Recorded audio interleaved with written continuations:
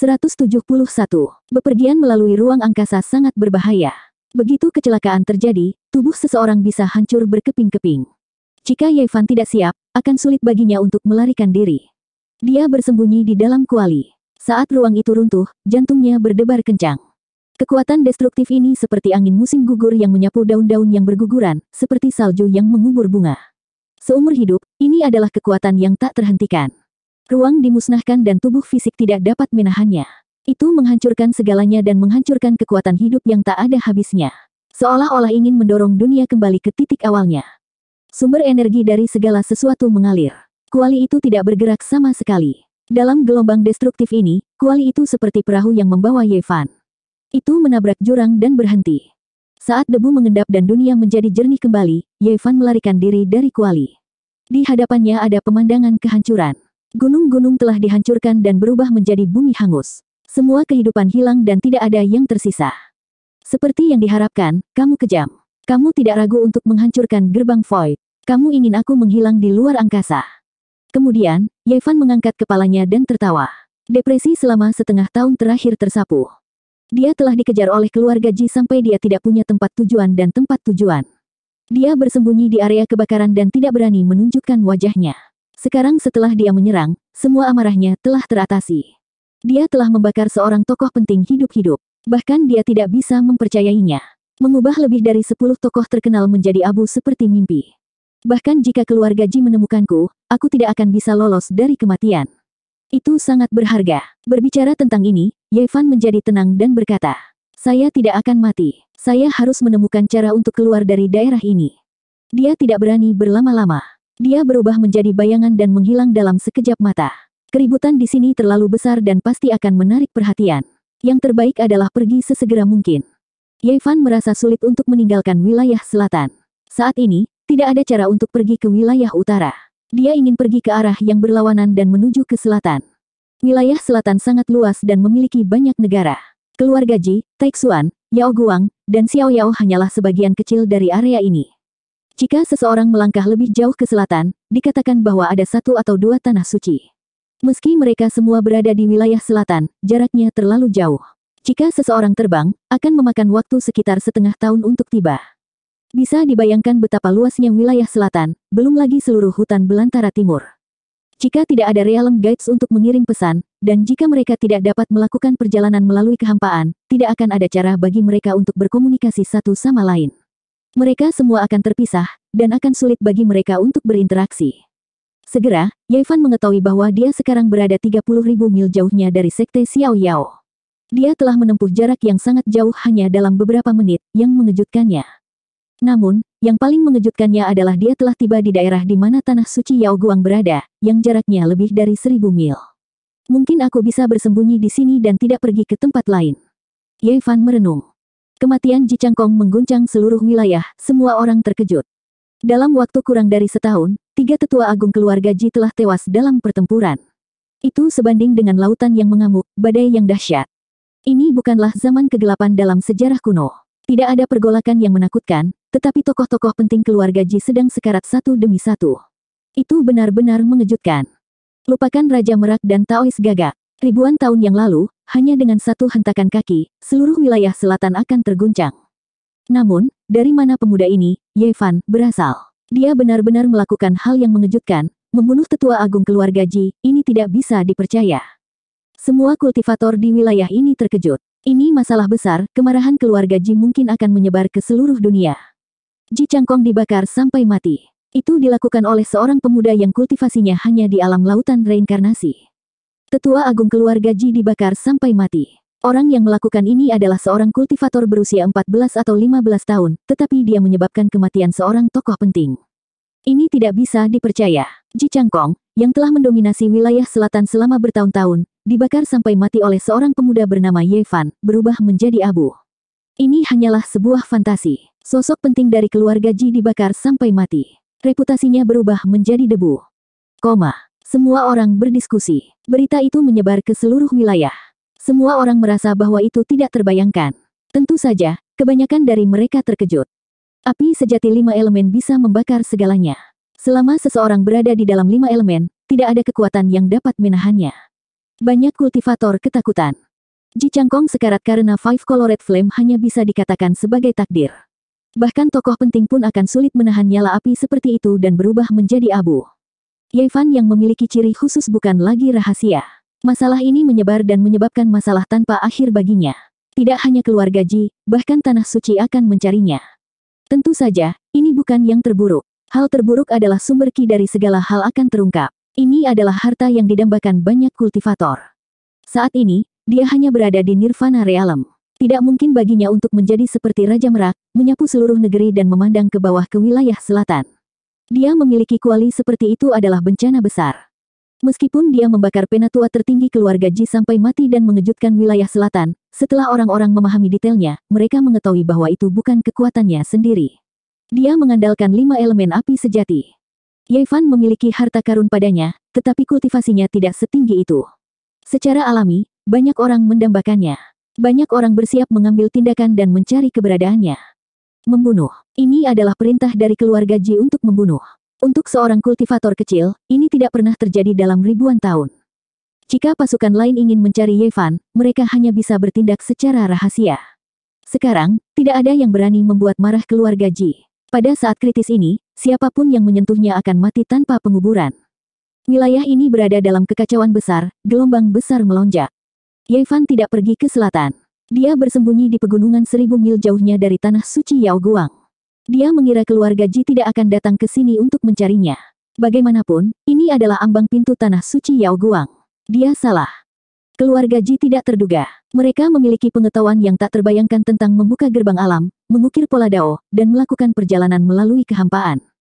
Berdasarkan altar yang rusak, energi yang dikonsumsi, dan waktu ketika gerbang kerajaan dibuka, mereka dapat menebak berapa mil yang telah ditempuh Yevan. Pada hari itu, kekosongan dibuka. Gerbang muncul di atas tanah hangus. Lebih dari seratus kultivator keluar. Di antara mereka, ada lebih dari 20 tetua, dan sisanya adalah elit muda. Beberapa tenang seperti gunung. Aura mereka berat dan tak terduga. Beberapa seperti pedang tajam. Mereka penuh dengan niat membunuh. Lebih dari seratus kultivator semuanya kuat. Belum lagi tokoh-tokoh terkenal itu, bahkan para kultivator muda itu memiliki latar belakang yang hebat. Hampir setengah dari sepuluh kultivator muda terkuat dari keluarga Ji ada di sini. Tanah hangus ini pasti disebabkan oleh kehancuran kehampaan, hajingan itu tidak mati. Seorang tetua memberi perintah. Dia mengatakan kepada semua orang untuk menyebar dan mencari. Jika mereka menemukan petunjuk, mereka harus segera melaporkannya. Ini hanya kelompok orang pertama. Ada lebih banyak kultivator yang datang. Jika Crow Taois tidak muncul untuk memprovokasi keluarga Ji, akan ada tokoh kuat yang datang untuk membunuh Yevan. Keluarga Ji sangat kuat. Mereka mengirim pesan dan mengunci semua tempat. Mereka ingin menjebak Yevan di area ini. Yevan tidak berpikir bahwa dia akan melihat orang-orang dari keluarga Ji terbang di atas pegunungan di tengah malam. Bagaimana mereka menemukan tempat ini? Tentu saja, dia tidak tahu bahwa keluarga Ji telah menghitung semuanya menggunakan gerbang void. Yevan merasa ada yang tidak beres. Dia terbang sepanjang malam, tetapi dia terkejut mengetahui bahwa keluarga Ji telah mengunci area ini. Sejumlah besar kultivator sedang mencarinya. Dua hari kemudian, keberadaan Yevan terungkap. Dia ditemukan oleh keluarga Ji. Klan kuno benar-benar tak terduga. Mereka bahkan bisa menghitung di mana kehampaan itu runtuh, seru Yevan. Dia ingin meninggalkan tempat ini secepat mungkin. Jika tidak, dia akan berada dalam bahaya yang lebih besar jika dia memberitahu tanah suci Yao Guang. Jika bukan karena teknik gerakan tertingginya, dia tidak akan mampu bertahan setelah ditemukan. Meski begitu, dia tidak bisa menyingkirkan mereka. Lima hari kemudian, dia mengambil jalan memutar dan memasuki padang rumput. Dia berada ribuan mil jauhnya dari tanah suci Yao Guang. Orang-orang dari keluarga Ji sepertinya telah mengunci dirinya. Mereka mengejarnya sepanjang jalan dan tidak bisa menyingkirkannya. Pada hari ke-6, dia akhirnya bertemu dengan murid muda keluarga Ji. Setelah pertempuran berdarah, dia menggunakan kuali untuk membunuh jalan keluarnya. Pada hari ke-8, di kedalaman padang rumput, seorang pria jangkung menghalangi jalannya. Pria ini tampak berusia dua puluhan. Rambutnya sehitam tinta, dan matanya setajam pisau. Kulitnya berwarna perunggu, tubuhnya kuat, dan auranya berat. Siapa kamu? Karena dia berani mengejarnya sendirian, dia pasti memiliki sesuatu yang istimewa tentang dirinya. Yevan tidak berani meremehkannya. Ji Hai Yue, suara pria jangkung itu kuat seperti lonceng. Tidak pernah mendengar tentangmu. Itu karena kamu tidak tahu banyak. Di belakangnya, lebih dari sepuluh orang keluar dari padang rumput yang lebat. Di generasi muda keluarga Ji, ada tiga orang yang telah berkultivasi ke ranah Dao Palace ketiga. Kakak kelima Hai Yue adalah salah satunya. Jantung Ye Fan melonjak, bahkan tokoh-tokoh legendaris hanya berkultivasi ke dunia rahasia ketiga. Mereka yang memiliki tingkat kultivasi ini pada generasi muda semuanya adalah sosok yang luar biasa.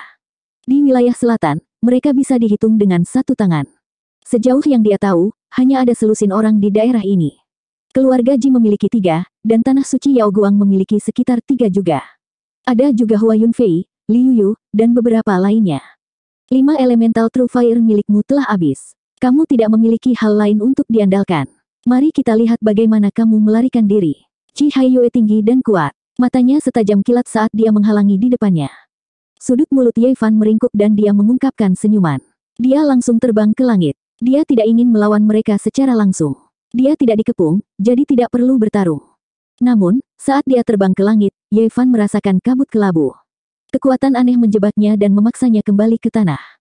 Dia tahu bahwa dia dalam kesulitan. Tempat ini telah diatur oleh seseorang. Mereka telah mengukir pola dao dan memadatkan kekuatan pembuluh darah bumi untuk menguncinya di sini. Chi Hai Yue mencibir, jangan buang energimu. Saat kamu melangkah ke tempat ini, kamu ditakdirkan untuk mati. Saat dia mengatakan ini, dia mengambil langkah maju. Namun, dia tidak terus menekan ke depan. Tetua tertinggi keluarga Ji telah belajar sebuah pelajaran. Semua orang ketakutan.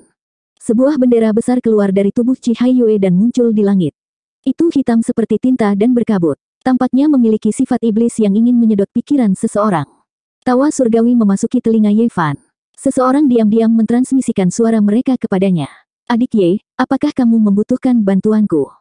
Ye Fan segera mengerutkan kening. Ini adalah suara dari Saintes Yao Guang. Pada akhirnya, dia masih menarik tanah suci Yao Guang. Jika kamu ingin membantuku, bunuh Chi Hai Yue ini dulu. Jawab Ye Fan. Mudah bagimu untuk mengatakannya. Dia hanya yang kedua setelah Ji Haoiwei dan Ji Biyue. Sebelum Ji Ziyue tumbuh dewasa, dia adalah yang terkuat ketiga di generasi muda keluarga Ji. Suara orang suci itu manis. Tidak ada yang tahu di mana dia berada. Dia berkata, jika saya membunuhnya, saya akan memiliki karma besar dengan keluarga Ji. Namun, saya punya cara lain untuk membawa Anda pergi. Apakah Anda tidak ingin pergi ke wilayah utara? Saya memiliki niat yang sama. Kita bisa bepergian bersama. Tentu, dengan senang hati, jawab Yevan. Dalam situasi seperti itu, seseorang bersedia membantunya. Meskipun dia tahu bahwa orang suci itu tidak bisa dianggap enteng, dia harus melewati rintangan ini terlebih dahulu. Tawa orang suci itu seperti bel perak, membuat orang merasa seperti angin musim semi. Kata-katanya sangat lembut. Dia berkata, aku harus bersiap. Kamu bisa menghentikan Ji Haiyue dulu. 172. Yevan tahu bahwa ini adalah alasan. Orang suci Yao Guang tidak ingin segera bertindak. Sulit untuk mengatakan apakah dia akan menyelamatkannya atau tidak. Motifnya jelas tidak murni. Dia kemungkinan besar tertarik pada fisik dan kualinya. Bendera besar di langit menjadi semakin menakutkan.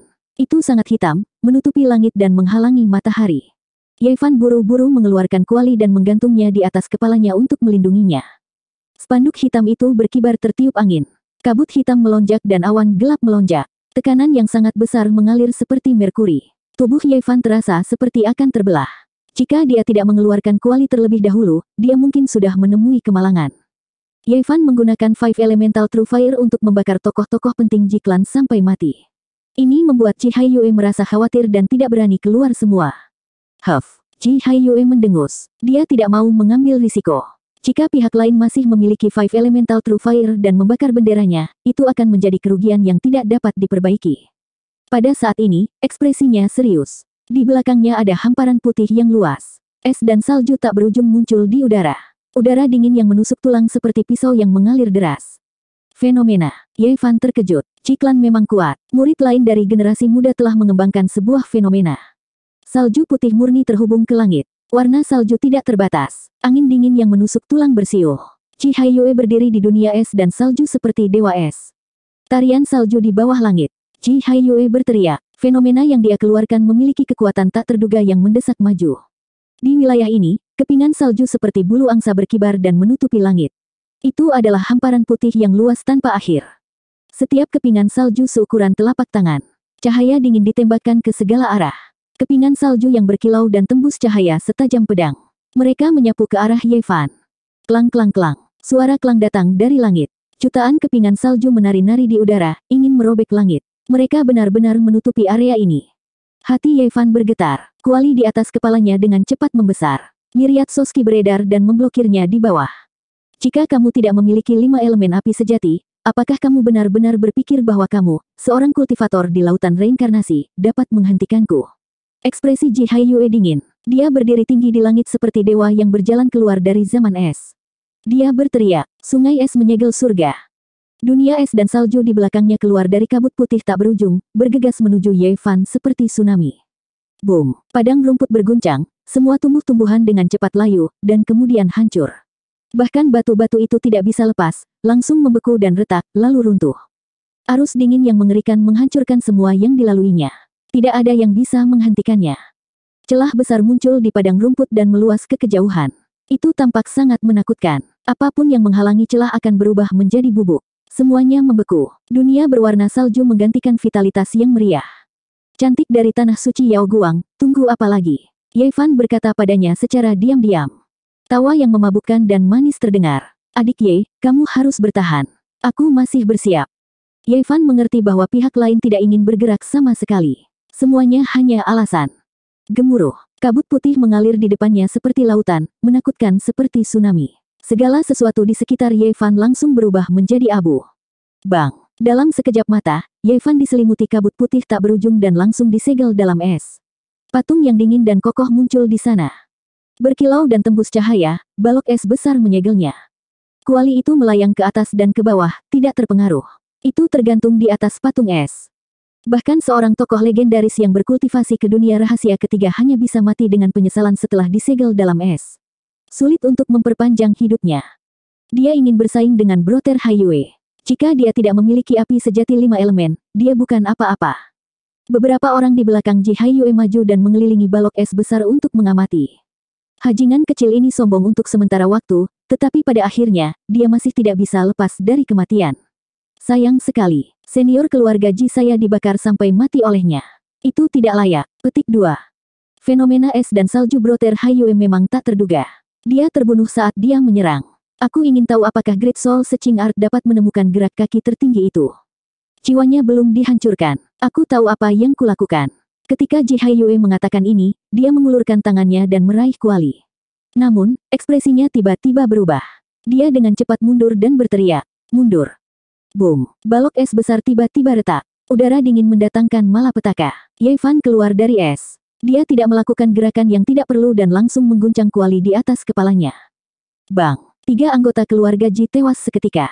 Mereka dihancurkan menjadi debu oleh kekuatan kuali, hanya menyisakan sedikit kabut darah yang melayang di udara. Ye Fan sangat menyesal. Dia sengaja disegel dalam es untuk memikat semua orang lebih dekat dan menggunakan kuali yang terbuat dari miriat soski untuk mengguncang mereka semua sampai mati. Dia tidak menyangka Ji Haiyue begitu tajam. Dia langsung merasakan ketidaknormalan dan berteriak agar semua orang mundur. Pada akhirnya, dia hanya membunuh tiga orang. Bocah ini memang tercela, seperti yang dikatakan leluhur agung Jihui.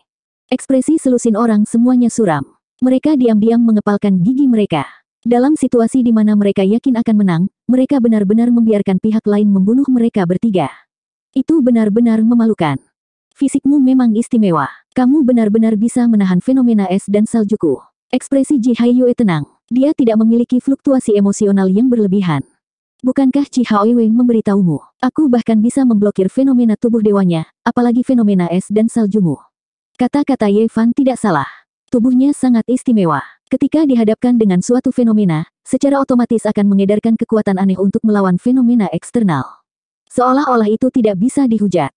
Dia mengambil cabang hijau dari botol giok pristin. Ini adalah daun tanaman induk buah suci. Sekarang karena tidak banyak mata air suci yang tersisa, dia mulai memakan kuncup daun suci untuk mengisi kembali kekuatan sucinya. Setiap kali dia mengaktifkan kuali, itu akan menghabiskan banyak kekuatan ilahi. Jika dia tidak memiliki hal-hal ini, akan sangat sulit baginya untuk bertahan.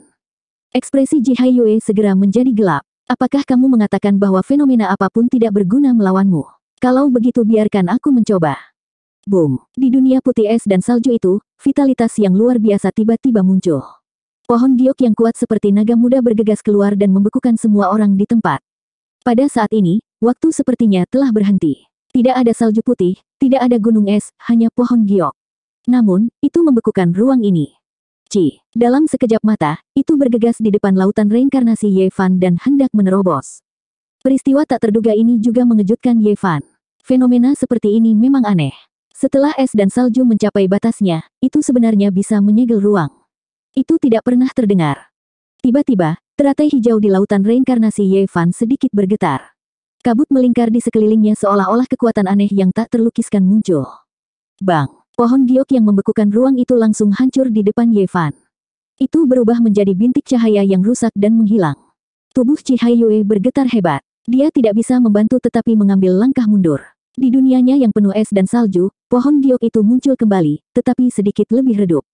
Bagaimana ini mungkin? Dia sangat tidak percaya dan berkata, Apakah fisikmu benar-benar mampu menahan semua jenis fenomena aneh secara alami? Pada saat ini, yang lain mendapatkan kembali kebebasan mereka. Jantung mereka berdebar. Mereka membeku di tempat barusan dan merasakan gelombang kekuatan aneh yang menakutkan. Ini benar-benar mengejutkanku. Tubuh suci para leluhur membuatku semakin tertarik. Suara menyenangkan Yao Guang Saintes sekali lagi sampai ke telinga Ye Fan. Ekspresi Ji Hai Yue dingin saat dia berkata, Aku akan menggunakan kekuatanku yang sebenarnya untuk membunuhmu.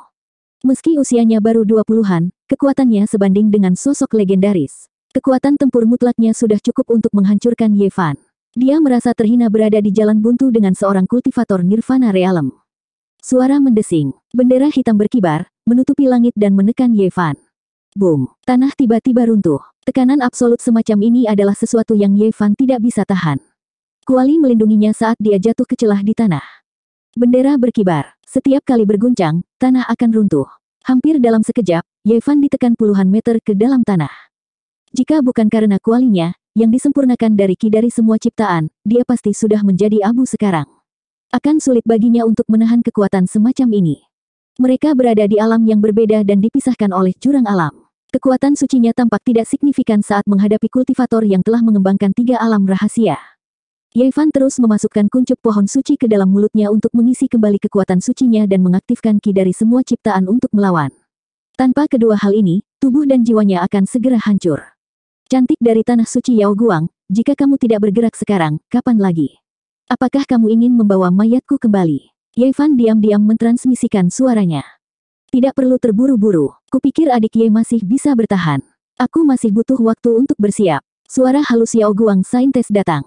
Sialan kau, Ye Fan benar-benar ingin mengutuk dengan kata ini. Pada akhirnya, dia mengubah topik pembicaraan dan berkata, saya katakan, istriku, jika kamu tidak bergerak sekarang, suamimu akan mati dan aku tidak akan bisa pergi ke tanah suci Yao Guang untuk melamar. Orang suci Yao Guang tidak marah.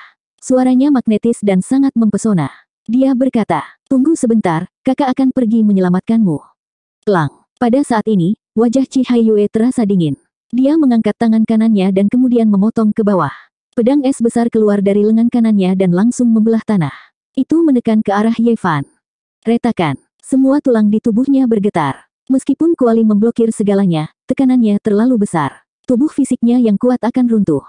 Masih ada api sejati lima elemen di dalam kuali. Yevan benar-benar ingin menggunakannya, tetapi mengingat dia masih harus menghadapi orang suci Yao Guang, dia tidak bertindak gegabah.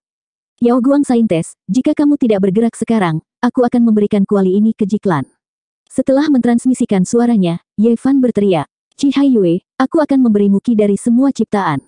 Boom. Pada saat ini, langit dan bumi sepertinya dicabik-cabik oleh seseorang. Kekuatan ilahi yang kuat tiba-tiba masuk dan benar-benar menghancurkan pola dao yang telah diletakkan Ji Hai Yue. Semuanya menjadi jelas kembali.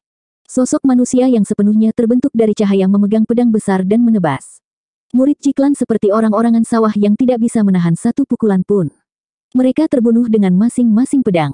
Awan kabut berdarah mekar di langit. Itu tidak terlihat seperti pedang panjang lagi. Itu lebih seperti palu dewa petir. Itu sangat berat. Saat mendarat, satu orang pasti akan hancur.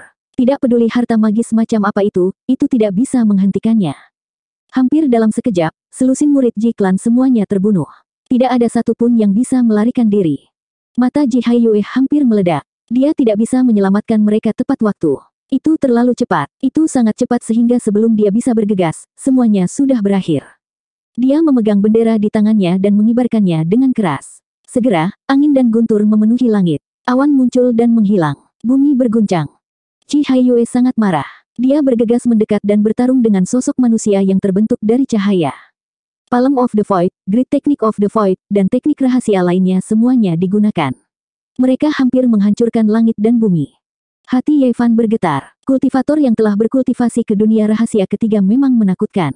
Dia merasakan urgensi. Dia harus menjadi lebih kuat. Meskipun hanya ada selusin anak muda seperti ini di daerah ini, mereka masih memberikan banyak tekanan padanya. Saat ini, kecenderungan umum yang dibentuk oleh urat bumi telah dipatahkan. Itu tidak bisa lagi menghentikan Yevan pergi. Dia menggunakan gerak kaki misterius dan menghilang ke cakrawala. Tidak lama kemudian, dia telah berlari lebih dari 100 mil. Adik laki-laki Ye, kamu benar-benar tidak memiliki hati nurani. Demi menyelamatkanmu, aku berjuang dengan hidupku, namun kamu melarikan diri tanpa jejak, mengabaikanku. Suara wanita suci Yao Guang manis. Dia muncul di kejauhan, menghalangi jalannya. Dia seperti teratai yang baru saja mekar. Kulitnya sebening kristal dan rambut hitamnya menari-nari tertiup angin. Matanya seperti permata hitam dan alisnya melengkung. Ketika dia sedikit mengernyit, dia terlihat sangat menawan. Pakaiannya berkibar dan gaunnya menari, menguraikan lekuk tubuhnya yang bangga. Dia memiliki sosok jahat yang bisa memikat semua makhluk hidup. Namun, tubuhnya bersinar dengan cahaya suci. Dia sangat seksi dan ada lingkaran cahaya di sekelilingnya. Dia setengah malaikat dan setengah penyihir. Itu adalah ilusi. Aku tidak ingin menjadi beban bagimu, jadi aku pergi dulu. Bukankah kamu menyusul? Yevan merasa curiga. Dia berkata, bayangan tadi adalah... Itu adalah Dewa Istana Suci Zi. Bagaimana menurutmu? Kamu seharusnya bisa membodohi Ji Haiyue setelah menampilkan teknik pedang itu, kan? Orang suci itu tersenyum manis. Dia tidak memakai riasan, tapi dia lebih cantik dari bunga. Dia membuat orang mengerti apa artinya menjadi sangat menawan dan apa artinya bisa menjatuhkan kota dengan senyuman. Kecantikannya sangat memikat. Tepat pada saat ini, seberkas cahaya ilahi mengalir dari langit yang jauh. Kecantikannya tertahan, dan penampilan yang jelas muncul. Dia sebenarnya sangat mirip dengan Alkait Saintes, tapi dia mengenakan armor yang berkedip-kedip dengan cahaya perak. Cahaya dingin dari armor logam membuatnya tampak lebih cantik, dan dia memiliki temperamen yang berbeda. Suara mendesing. Dewa menghilang ke dadanya, hanya menyisakan sedikit kekuatan suci. Dia tidak terlihat. Setelah menyingkirkan Ji Haiyue, dia dihentikan oleh orang suci. Ye Fan merasa lebih bermasalah. Wanita ini luar biasa dan sulit dihadapi. Apakah kamu punya cara untuk menyingkirkan Ji Klan? Ada ratusan kultivator yang kuat mencariku di padang rumput ini. Orang suci itu tersenyum dan berkata, Ikutlah denganku. Aku berjanji kepadamu bahwa kamu akan aman. Ye Fan mengerutkan kening. Dia tidak ingin pergi ke tanah suci Yao Guang, tetapi wanita cantik ini sangat sakti. Akan sulit baginya untuk menyingkirkannya. Adik Ye, jangan khawatir. Aku tidak akan pergi ke tanah suci Yao Guang. Aku akan dikirim ke wilayah utara. Kalau begitu kita bisa bepergian bersama. Bibir merahnya lembab dan seksi. Dia tersenyum dan berkata, ayo kita tinggalkan padang rumput ini dulu. Ye Fan tidak banyak bicara. Dia mengikutinya dan datang ke tanah tandus. Ada istana bobrok. Orang suci itu masuk dengan ringan dan kemudian melambai ke arah Ye Fan. Dia berkata, saya telah memperbaiki gerbang luar angkasa di sini. Itu dapat memindahkan kita puluhan ribu mil jauhnya. Kita dapat menyingkirkan klan Ji dengan cepat. Kita tidak akan pergi ke tanah suci Yao Guang. Aku tidak akan berbohong padamu. Jelas tidak. Ye Fan dengan hati-hati mengamati polanya. Mereka memang tidak pergi ke tanah suci Yao Guang. Tidak ada pilihan yang lebih baik. Untuk menyingkirkan Jiklan, dia memutuskan untuk mengambil risiko dan berdiri di mistik jade platform. Setelah sumber ditempatkan, cahaya melesat ke langit dan gelombang energi yang kuat menyebar. Gerbang luar angkasa terbuka dan langit retak. Keduanya berjalan masuk, namun, keduanya agak jauh. Mereka berdua takut dan tidak ingin terlalu dekat. Tidak lama kemudian, kegelapan tak berujung menghilang dan cahaya muncul di depan mereka. Mereka berhasil melintasi langit dan muncul di tanah suci yang dipenuhi bunga dan burung. Alirannya menggelegak, tanamannya harum, pegunungannya hijau, dan airnya jernih. Pavilion tersebar di antara pegunungan dan sungai. Itu tenang dan alami. Ini adalah salah satu tempat tinggal saya. Jaraknya 30 ribu mil dari daerah itu. Anda dapat yakin. Yakin. Yevan berpikir sendiri. Dia melihat sekeliling dan siap melarikan diri kapan saja. Dia merasa bahwa orang suci itu sulit untuk dihadapi. Adik Ye, aku telah menunjukkan ketulusan yang cukup padamu. Kamu tidak perlu waspada terhadapku. Orang suci itu menyisir rambutnya dan tersenyum. Aku tidak ingin sumber ki dari segala hal. Aku hanya ingin melihat tubuh suci kunomu dan melihat apa yang istimewa darinya. Yevan tidak melihatnya sebagai bodhisattva perempuan. Meskipun dia dipanggil saintes, dia bertindak lebih seperti penyihir. Dia benar-benar ingin berurusan dengannya sekarang. Namun, itu lebih baik daripada dikelilingi oleh Jiklan di depan padang rumput. Dia masih memiliki peluang saat ini, tetapi sulit untuk mengatakan siapa yang akan menang. Fisikku mengerikan. Ini disebut tubuh yang tidak berguna sekarang. Apa yang bisa dilihat? Yevan tidak ingin dia melihat tubuhnya. Adik Ye, kamu terlalu rendah hati. Tubuh suci kuno mengandung rahasia besar. Meskipun aku tidak bisa berkultivasi selama bertahun-tahun, tanah suci tidak pernah menyerah. Jika aku menemukanmu, aku pasti akan menerimamu. Orang suci tersenyum menawan dan berkata, Aku tidak akan memberikanmu ke tanah suci untuk mereka pelajari. Aku hanya ingin melihat sendiri apa yang begitu misterius tentangmu. Yevan menatap wajahnya yang cantik dan sebening kristal dan berkata, Bagaimana jika saya tidak setuju? Kalau begitu aku harus merepotkanmu sebentar. Aku akan membiarkanmu tidur dan melihatnya sendiri. Rambut Saintes menari-nari tertiup angin. Lehernya yang ramping berwarna putih dan lembut, yang sangat menarik. Kamu membuat pola di sini dan memadatkan kekuatan gunung dan sungai. Apakah kamu mencoba menyegelku di sini? Yevan melihat sekeliling pada pemandangan yang indah. Bulu mata Saintes berkibar. Dia meliriknya dengan tatapan memesona dan berkata, Jangan menganggapku sebagai orang jahat. Mengapa aku melakukan ini padamu? Yevan hendak mengeluarkan kuali untuk melindungi dirinya sendiri dan kemudian terbang menjauh. Dia tidak ingin terus terjerat dengan orang suci yang menggoda ini. Kamu, pada saat itu, dia terkejut. Kekuatan suci di tubuhnya berat dan tidak bisa beredar dengan lancar. Sulit baginya untuk mengeluarkan kuali. Dia berteriak, apa yang kamu lakukan? Orang suci itu mengeluarkan tawa seperti bel dan berkata, Sepertinya kamu baru saja ingin membunuhku dan ingin menggunakan kekuatan sucimu. Kamu pasti merasakan perubahan pada tubuhmu. Yevan menatapnya tanpa mengucapkan sepatah kata pun.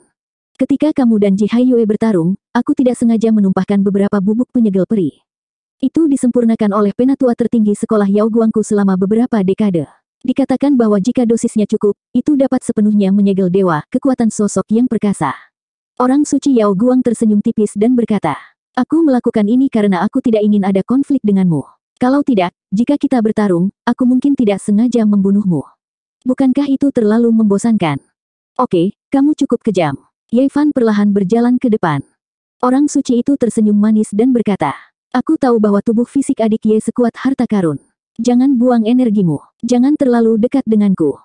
Pantatnya bulat, pinggangnya ramping, dan payudaranya bulat. Lehernya indah, dan wajahnya tak tertandingi. Pada saat ini, dia menggerakkan tubuhnya dan mundur dengan ringan. Senyumnya sangat lembut dan menawan. Yevan sangat marah sampai giginya gatal. Dia memperkirakan jaraknya dan menemukan bahwa itu memang agak jauh. Saintes ini terlalu berhati-hati. Pada saat inilah dia memfokuskan pikirannya. Danau emas di antara alisnya bergetar, dan Divine Sense-nya terwujud dan melesat ke depan dalam serangan. Ah, dot kau. The Scientist berteriak ketakutan. Wajah cantiknya menunjukkan bahwa dia kesakitan dan dia akan jatuh. Yevan berlari ke depan dengan cepat dan kesadarannya yang kuat tidak berhenti menyerang. Dia secepat kilat dan tiba di hadapan orang suci hanya dalam sedetik. Dia melompat dan mendorong Saintes ke rumput. Namun, Saintes hanya berteriak ketakutan di awal. Dia tidak putus asa sama sekali. Ruang di antara alisnya juga bersinar dengan cahaya yang menyilaukan. Pada saat ini, dia membuka matanya dan menatap Yevan. Pada saat yang sama, tubuh lembutnya memancarkan energi suci yang menakutkan. Meskipun Sea of Consciousness-nya tidak terluka, dia tidak bisa diganggu. Kesadaran Yevan terlalu menakutkan dan hampir menekannya. Yevan merasa bahwa dia tidak dapat menahan tubuh yang luar biasa ini lebih lama lagi. Tubuhnya yang lembut memiliki energi dewa seperti lautan yang akan menghempaskannya. Kesadarannya tidak berhenti menyerang. Danau emas di antara alisnya sama mempesonanya dengan matahari. Pada saat yang sama, dia menggunakan serangan psikologis dan menggigit. Aroma menyegarkan datang. Dia menggigit telinga saintes dan tidak melepaskannya. Anda, seperti yang diharapkan, orang suci merasa malu dan marah pada saat yang bersamaan. Cahaya di antara alisnya beriak. Yevan menggunakan kesadarannya untuk menyerang. 173. Yao Guang Saintes berteriak, telinganya yang halus digigit oleh gigi seputih salju. Tidak hanya menyakitkan, tetapi juga membuatnya merasa malu. Kesadaran jiwanya menjadi tidak stabil. Cahaya di antara alisnya meredup. Kesadaran jiwa Ye Fan seperti pedang. Itu berubah menjadi sinar keemasan dan menebas lautan kesadaran Yao Guang Saintes. Pada saat yang sama, dia mencoba menekan tubuhnya agar tidak tertiup angin. Suara mendesing. Tanda berlian muncul di antara alis Yao Guang Saintes. Itu seperti peri yang keluar dari air. Itu menembakkan sinar cahaya berwarna-warni dan memblokir sinar keemasan. Ye Fan terkejut. Kesadaran jiwa Yao Guang Saintes begitu kuat sehingga melampaui harapannya. Kesadaran jiwanya hampir sekuat miliknya. Dia memfokuskan kesadaran jiwa dan mendesak kekuatan samudera kesadarannya.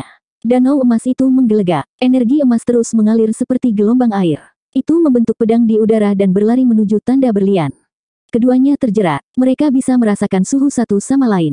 Di bawah mereka, orang suci Yao Guang seperti batu giok yang hangat. Tubuhnya yang lembut dan ramping bersinar dengan cahaya warna-warni. Dia hampir menjatuhkan Ye Fan beberapa kali. Ye Fan lebih unggul dalam hal kesadaran jiwa. Meskipun orang suci Yao Guang sangat kuat, dia tidak bisa bersaing dengannya. Danau emas sedalam jurang, kesadaran jiwa terus mengalir keluar. Awalnya, itu seperti aliran kecil. Kemudian, itu menjadi seperti sungai yang panjang. Wajah Yao Guang Saintes menjadi pucat. Wajah cantiknya penuh kejutan. Tanda berlian di dahinya memudar dan ditekan. Pada saat ini, dia memutuskan untuk mengambil risiko. Dia mengumpulkan pikirannya dan kekuatan ilahi di dalam tubuhnya mendidih. Kehendak ilahi bergegas keluar dari istana suci Zi dan siap menyerang Ye Fan. Karena dia terganggu sesaat, dia menjadi lebih pasif dalam pertempuran kesadaran jiwa. Ye Fan hampir menyerang lautan kesadarannya. Tubuhnya gemetar. Sinar emas bergerak maju dengan cepat. Yao Guang Saintes terkejut. Dia berteriak. Cahaya warna-warni mengalir di lautan kesadarannya. Tanda berlian bersinar lagi. Pada saat yang sama, dewa yang keluar dari istana suci Zi benar-benar bersih. Dia maju selangkah. Dia ditutupi armor logam perak yang bersinar cemerlang, membuat orang merasa seperti seorang dewi telah turun ke dunia. Rambut hitamnya yang indah dan tubuhnya yang seperti salju, dipadukan dengan armor perak, memberinya temperamen yang tak terlukiskan. Dia memiliki pesona seorang penyihir, tetapi juga kesucian seorang dewi. Dua temperamen yang berbeda bercampur menjadi satu, dan dari sudut yang berbeda, dia memberikan perasaan yang berbeda. Dia tampak persis sama dengan orang suci Yao Guang, tetapi pada saat ini, dia tampak sedikit tersesat. Meskipun matanya indah, mereka kurang semangat. Orang suci Yao Guang yang asli sedang bertarung melawan Ye Fan. Kehendak dewa yang dibentuk oleh istana suci Zi tidak memiliki kesadaran ilahi untuk membimbingnya, jadi ia hanya bisa berdiri diam di sana. Membunuh. Orang suci Yao Guang mendengus. Dia mengambil risiko dan dengan paksa memisahkan seutas rohnya untuk memasuki roh dewa. Pada saat ini, kesadaran spiritual Ye Fan terbakar seperti nyala api, melonjak ke depan, langsung membuat tanda berbentuk berlian itu redup. Dalam waktu singkat, dia telah tiba di depan pintu kesadaran Yao Guang Saintes dan hendak menyerang. Pada saat yang sama, rambut hitam dewa itu beterbangan di udara, dan baju sirah peraknya bersinar. Wajah cantiknya tiba-tiba menjadi hidup, dan matanya penuh semangat. Namun, gerakannya masih sedikit kaku. Potensi tubuhnya belum sepenuhnya pulih. Lang. Dia mengeluarkan pedang ajaib yang tergantung di pinggangnya dan memegangnya di tangannya. Itu seterang air musim gugur. Dia mengangkatnya tinggi seperti dewi yang turun ke dunia fana. Seolah-olah dia akan membunuh iblis dengan cahaya suci yang mengalir di sekelilingnya. Wus. Dewa mengayunkan pedang dan menebas Yevan, mencoba memotongnya menjadi dua. Pada saat yang sama, kesadaran spiritual Ye Fan akhirnya menyerang kesadaran Yao Guang Saintes, mengirimkan sedikit cahaya ke dalam dirinya. Keduanya sangat menentukan. Yao Guang Saintes ingin menghancurkan tubuh fisiknya, menghapus bentuk fisiknya, dan kemudian membunuhnya. Ye Fan, di sisi lain, ingin menghancurkan lautan kesadarannya, menghancurkan perasaan surgawinya, dan menghancurkan jiwanya, sehingga membunuhnya. Klang. Pedang suci yang memancarkan cahaya ke segala arah memancarkan hawa dingin yang menusuk tulang saat ditebang. Kesadaran spiritual Ye Fan tajam. Dia membawa orang suci Yao Guang dan berguling dengan cepat. Pedang menebas retakan sedalam 10 meter di padang rumput. Tidak sulit membayangkan betapa mengerikannya pedang ini. Jika itu mengenai tubuhnya, konsekuensinya tidak terbayangkan. Dia menggigit telinga kristal Yao Guang Saintes dan tidak ingin melepaskannya. Keduanya terjerat dan berguling lebih dari 10 meter. Satu-satunya hal yang baik adalah dewa ini lambat. Hanya seutas kesadaran spiritual yang memasuki tubuhnya, sehingga tidak bisa menggunakan semua kekuatannya. Ah, teriak orang suci Yao Guang ketakutan. Kesadarannya rusak, dan cahaya keemasan mengalir seperti sungai. Fan mendesak energi spiritualnya yang paling kuat, mencoba menghancurkan kesadaran spiritual Yao Guang Saintes dan mengubah dewa di luar menjadi bunga tanpa akar.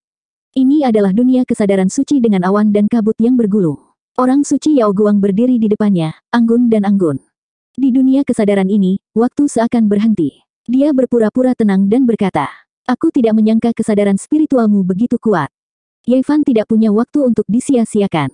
Ada dewa pembunuh di luar. Dia bergegas maju. Adik Ye, kamu tidak bisa membunuhku. Ekspresi Yao Guang Saintes menjadi dingin. Dia lari dengan cepat dan muncul di langit dunia kesadaran. Cahaya keemasan melesat ke langit dan mendekat. Dalam sekejap, itu ada di depannya. Kesadaran spiritualku adalah kartu trufku yang paling kuat. Aku tidak menyangka milikmu lebih menakutkan daripada milikku, kata Yao Guang Saintes sambil terbang. Ye Fan tidak menjawab. Kesadaran spiritual emasnya berubah menjadi tangan besar dan menyerang. Puff. Tubuh surgawi Yao Guang Saintes menjadi buram. Dia terluka. Dia bergerak lebih cepat dan tenggelam ke kedalaman lautan kesadaran. Klang, klang, klang. Cahaya keemasan berubah menjadi ratusan cahaya pedang dan ditembakkan seperti hujan meteor, mencoba menghancurkan Yao Guang Saintes. Wus. Saat ini, Sosok cantik itu menghilang ke awan. Pada saat yang sama, Ye Fan merasakan bahaya. Di langit di atas lautan kesadaran, awan dan kabut melayang. Sebuah istana besar muncul dan mendesak ke arahnya. Orangnya megah seperti medan bintang. Sulit untuk menolak. Apa yang sedang terjadi? Ye Fan terkejut. Kesadaran spiritual lawan jelas tidak sekuat miliknya. Bagaimana dia bisa menggunakan kekuatan yang begitu menakutkan? Tawa Yao Guang Saintes datang. Dia berdiri di istana besar seperti peri dari Danau Giok. Pakaiannya berkibar tertiup angin dan dia sangat cantik. Dia dikelilingi oleh awan dan kabut. Adik Ye, betapapun liciknya kamu, kamu akan mati hari ini. Jangan khawatir, aku akan menguburmu dengan baik. Ye Fan mencoba yang terbaik untuk mundur tetapi menemukan bahwa dia tidak dapat meninggalkan ruang ini. Istana besar telah sepenuhnya menyegel tempat ini. Mengapa seperti ini? Dia sangat terkejut dan berkata, Mengapa ada istana di lautan kesadaranmu? Istana di langit itu seperti istana bulan. Itu ditutupi oleh sinar bulan dan terlihat sangat kabur. Itu membuat Yao Guang Saintes terlihat sangat cantik. Ini adalah harta rahasia yang saya temukan di sebuah gua kuno yang ditinggalkan di tanah suci Yao Guang ketika saya masih muda. Ini disebut Istana Bulan. Kekuatannya sulit diperkirakan. Citra Dewi Suci Alkait tidak berbeda dengan orang sungguhan. Kulitnya seputih salju, dan pipinya lembut dan halus. Dia berkata, sejak saya mendapatkannya, itu masuk ke ruang antara alis saya. Setelah lebih dari 10 tahun, itu memupuk kesadaran jiwa saya ke tingkat yang sangat kuat.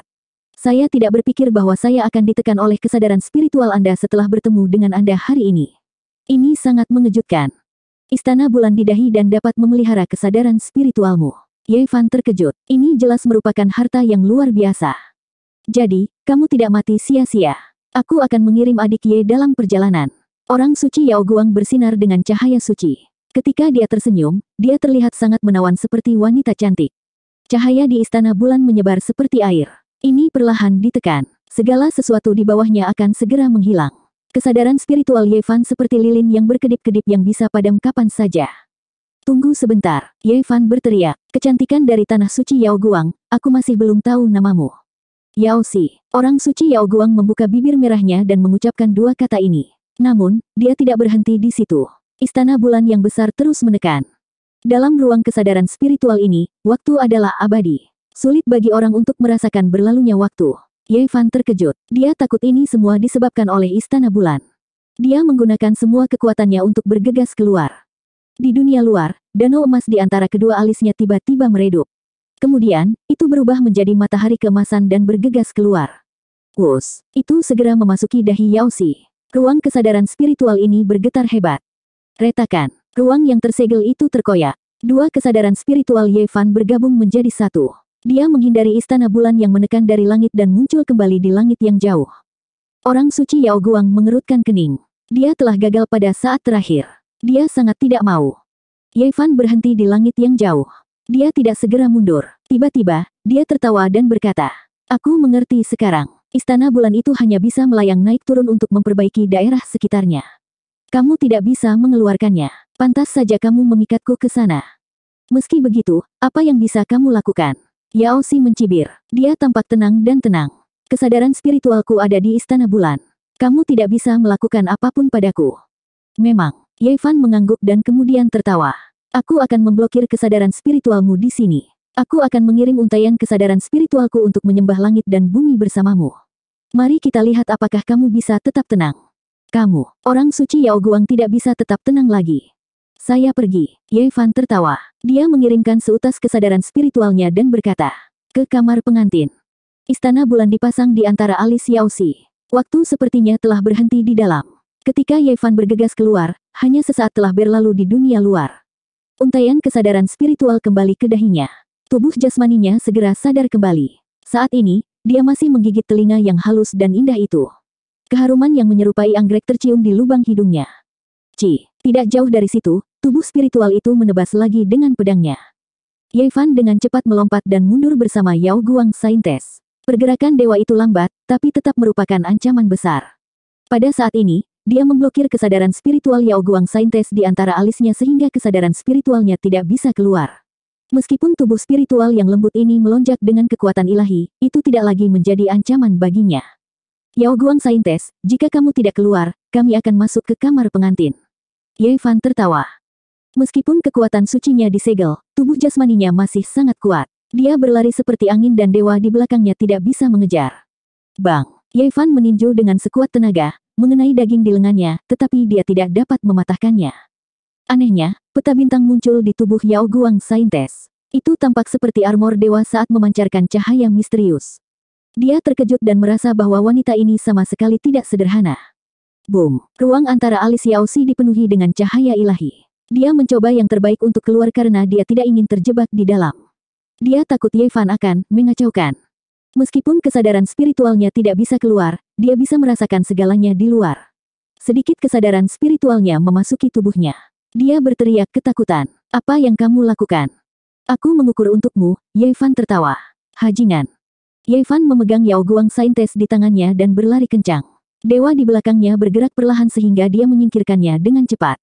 Salah satu lengannya melingkari pinggang ramping Yao Si. Dia merasakan kelembutannya sementara tangannya yang lain bergerak secara acak. Dia menggoda. Tubuhmu sangat ringan dan ramping. Aku tidak tahu bahwa beberapa bagian dari dirimu berkembang dengan sangat baik. Kamu, orang suci Yao Guang hampir pingsan karena marah. Kamu berkembang dengan baik di mana kamu seharusnya berkembang dengan baik dan ramping di mana kamu seharusnya langsing. Aku tidak bisa tidak mengagumimu. Jika aku melemparmu ke kerumunan, kurasa banyak pria akan tergila-gila padamu. Yevan menggigit daun telinganya dan berkata, jika kamu ingin berurusan denganku, kamu harus siap membayar harganya. Tubuh seperti batu giok Yaosi bersinar dengan cahaya, lembut dan memikat.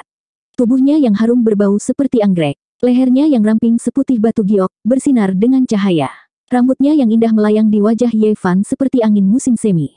Yevan, aku akan membunuhmu. Aku akan memberimu dua pilihan. Satu membiarkanku mengendalikan kesadaran jiwa. Yang lainnya memasuki kamar pengantin. Tangan Yevan melingkari pinggang rampingnya sementara tangan lainnya bergerak secara acak. Dia tertawa. Buat keputusanmu. 174. Yao Guang Saintes adalah setengah iblis dan setengah malaikat. Dia memiliki pesona yang tak tertandingi. Meskipun dia sangat memesona, dia dikelilingi oleh cahaya suci dan memiliki aura khusus. Dia memiliki kecantikan yang bisa memikat bahkan burung dan binatang buas, dan kecantikan yang bisa mengungguli bulan dan mempermalukan bunga. Ditambah dengan temperamen yang hampir kontradiktif ini, itu membuatnya tampak seperti dia bisa menjungkir balikan semua makhluk hidup dan sangat menawan. Aku tidak akan memilih salah satu dari mereka. Mata seperti permata hitam Yaosi menembakkan dua berkas cahaya. Dia terlihat sangat halus. Meskipun dia hanya mengirimkan beberapa sinar kesadaran jiwa, dia masih menunjukkan kompetensinya yang mengintimidasi. Yevan mengungkapkan senyum dingin. Danau emas kecil di Glabella mengirimkan seberkas kesadaran jiwa ke arah Yao Guang Saintes. Dia ingin menghapus sinar kesadaran jiwa itu. Kecuali jika kesadaran jiwamu tetap berada di istana bulan selamanya, aku akan membunuh setiap sinar yang keluar. Cahaya emas itu seperti air raksa yang mengalir ke tanah. Itu menyapu setiap inci ruang dan menangkap kesadaran jiwa Yao Guang Saintes. Pada saat yang sama, dia mengencangkan lengannya untuk menekan tubuh lembut Yao Guang Saintes untuk menahan kekuatan dewa yang kuat. Wus, kesadaran jiwa Yao Si segera padam. Dia ingin bersembunyi, tetapi cahaya di matanya meredup. Kamu tidak bisa melarikan diri. Ye Fan berteriak. Kemudian, cahaya emas begitu menyilaukan sehingga langsung menyapu. Yao Guang Saintes berteriak ketakutan. Sinar kesadaran jiwa disegel dan dihancurkan di tempat. Ye Fan, kamu berani melakukan ini padaku, Yao Guang Saintes sangat dingin. Kesadaran jiwanya dikirim dari gelabelanya. Kesadaran jiwanya sedingin salju yang tertiup angin. Aku akan bertanya sekali lagi. Apa yang akan kamu pilih? Yevan menggendong Yao Guang Saintes dan berjalan melintasi jembatan batu menuju sebuah pavilion. Apakah kamu tidak takut tanah suci Yao Guang akan menghancurkan jiwa dan ragamu? Yao Guang Saintes mendesis. Aku hanya tahu bahwa jika aku tidak mengendalikanmu, aku tidak bisa lepas dari kematian. Anda telah melakukan ini kepada saya. Apalagi yang bisa saya tahan? Saya tidak akan keberatan. Yevan duduk di bangku batu di pavilion dan memegangi pinggang rampingnya. Bagaimana kita bisa mencapai kesepakatan lain? Orang suci Yao Guang benar-benar takut. Biasanya, semuanya berada di bawah kendalinya, dan dia tenang dan tenang. Namun, pada saat ini, dia merasa tidak nyaman.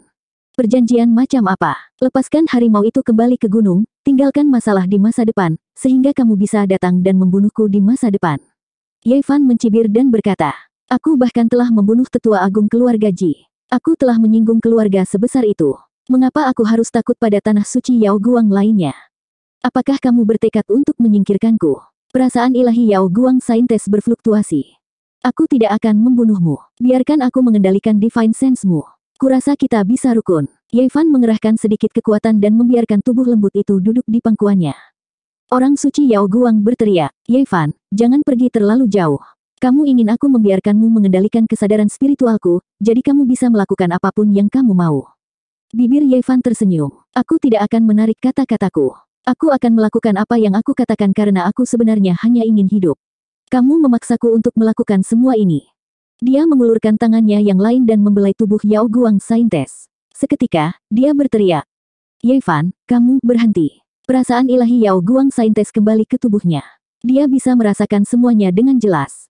Ketika tangan Ye Fan membelai tubuhnya, dia merinding di sekujur tubuhnya. Dia berkata dengan dingin, kondisimu terlalu keras. Jika aku tidak kasar, bagaimana aku bisa hidup? Ye Fan mengangkat dagu Yao Si dan berkata dengan senyum tipis. Kamu secantik bunga dan seindah batu giok. Mau tak mau aku ingin mencintaimu. Jika kamu tidak membuat keputusan sekarang, ayo pergi ke kamar pengantin. Tidak adil bagiku untuk memilikimu. Kamu tidak tahu malu. Yao Si sangat marah. Orang suci Yao Guang sangat mulia di wilayah selatan. Ke mana pun dia pergi, dia akan menarik perhatian semua orang. Banyak orang memandangnya. Namun, Yevan mengatakan tidak adil baginya untuk memilikinya. Senyum Yevan tumbuh lebih besar. Dia membelai pipinya yang halus dan berkata, Buat keputusan sekarang. Kulit Yao Guang Saintes sehalus sutra. Itu sehangat dan sejelas batu giok. Dia seperti mutiara yang bisa menggerakkan hati orang. Dia memiliki pesona yang tak tertandingi. Aku tidak bisa menyetujui persyaratanmu. Perasaan ilahi Yao Si melonjak hebat. Ye Fan tersenyum dan berkata, Bagus, bagus, bagus. Saya pikir Anda memilih kondisi kedua. Jika demikian, ayo pergi ke kamar pengantin. Yao Guang Saintes berteriak, rambut hitamnya menari-nari di tiup angin. Dia tampak seperti malaikat yang jatuh turun ke dunia fana. Matanya berkabut, akal ilahinya keluar dan dia ingin menggunakan teknik rahasianya untuk membunuh Yevan. Pada saat yang sama, tubuhnya dikelilingi oleh cahaya warna-warni. Dia tampak seperti batu giok yang indah dengan cahaya aneh dan kekuatan dewa yang melonjak. Yevan mengirimkan beberapa Divine Sense dan menyerang Divine Sense Yao Guang Saintes. Pada saat yang sama, dia mengayunkan tinjunya ke tubuh spiritual Yao Guang Saintes. Bang! Tinjunya yang kuat tidak dapat menghancurkan tubuh spiritual Yao Si seperti terakhir kali. Tinjunya yang tak terkalahkan terhalang oleh cahaya. Bang, bang, tinjunya bisa menghancurkan harta karun roh, tetapi mereka tidak bisa membunuhnya. Di permukaan tubuh Yao Guang Saintes, ada peta bintang misterius. Itu samar-samar terlihat dan memblokir tinju. Itu adalah pemandangan yang aneh. Peta bintang itu cerah dan berkilau. Pada saat yang sama, terasa dalam seolah-olah ada wilayah bintang sungguhan yang menutupi tubuh Yao Si. Apa ini? Ye Fan bingung. Dia terus meninju tetapi tidak bisa mematahkannya. Peta bintang itu seperti armor pertempuran dewa. Itu berkabut dan suci dan memblokir tinjunya. Yevan, kita benar-benar bisa duduk dan berbicara, kata Yao Guang Saintes. Dia diselimuti cahaya dan cahaya bintang terus mengalir di sekelilingnya. Yevan mengabaikannya dan langsung menghancurkan beberapa helai kesadaran ilahinya, hanya menyisakan satu helai baginya untuk menggunakan transmisi suara. Ini adalah armor pertempuran dari tanah suci Yao Guang. Kamu tidak akan pernah bisa menghancurkannya. Armor pertempuran saintes, aku tidak perlu menghancurkannya. Aku hanya perlu melepas lapisan lainnya. Yevan langsung merobek sebagian lengan baju Yao Guang Saintes. Kamu, Yao Guang Saintes sangat marah dengan kata-katanya. Dia bahkan lebih takut dengan tindakannya.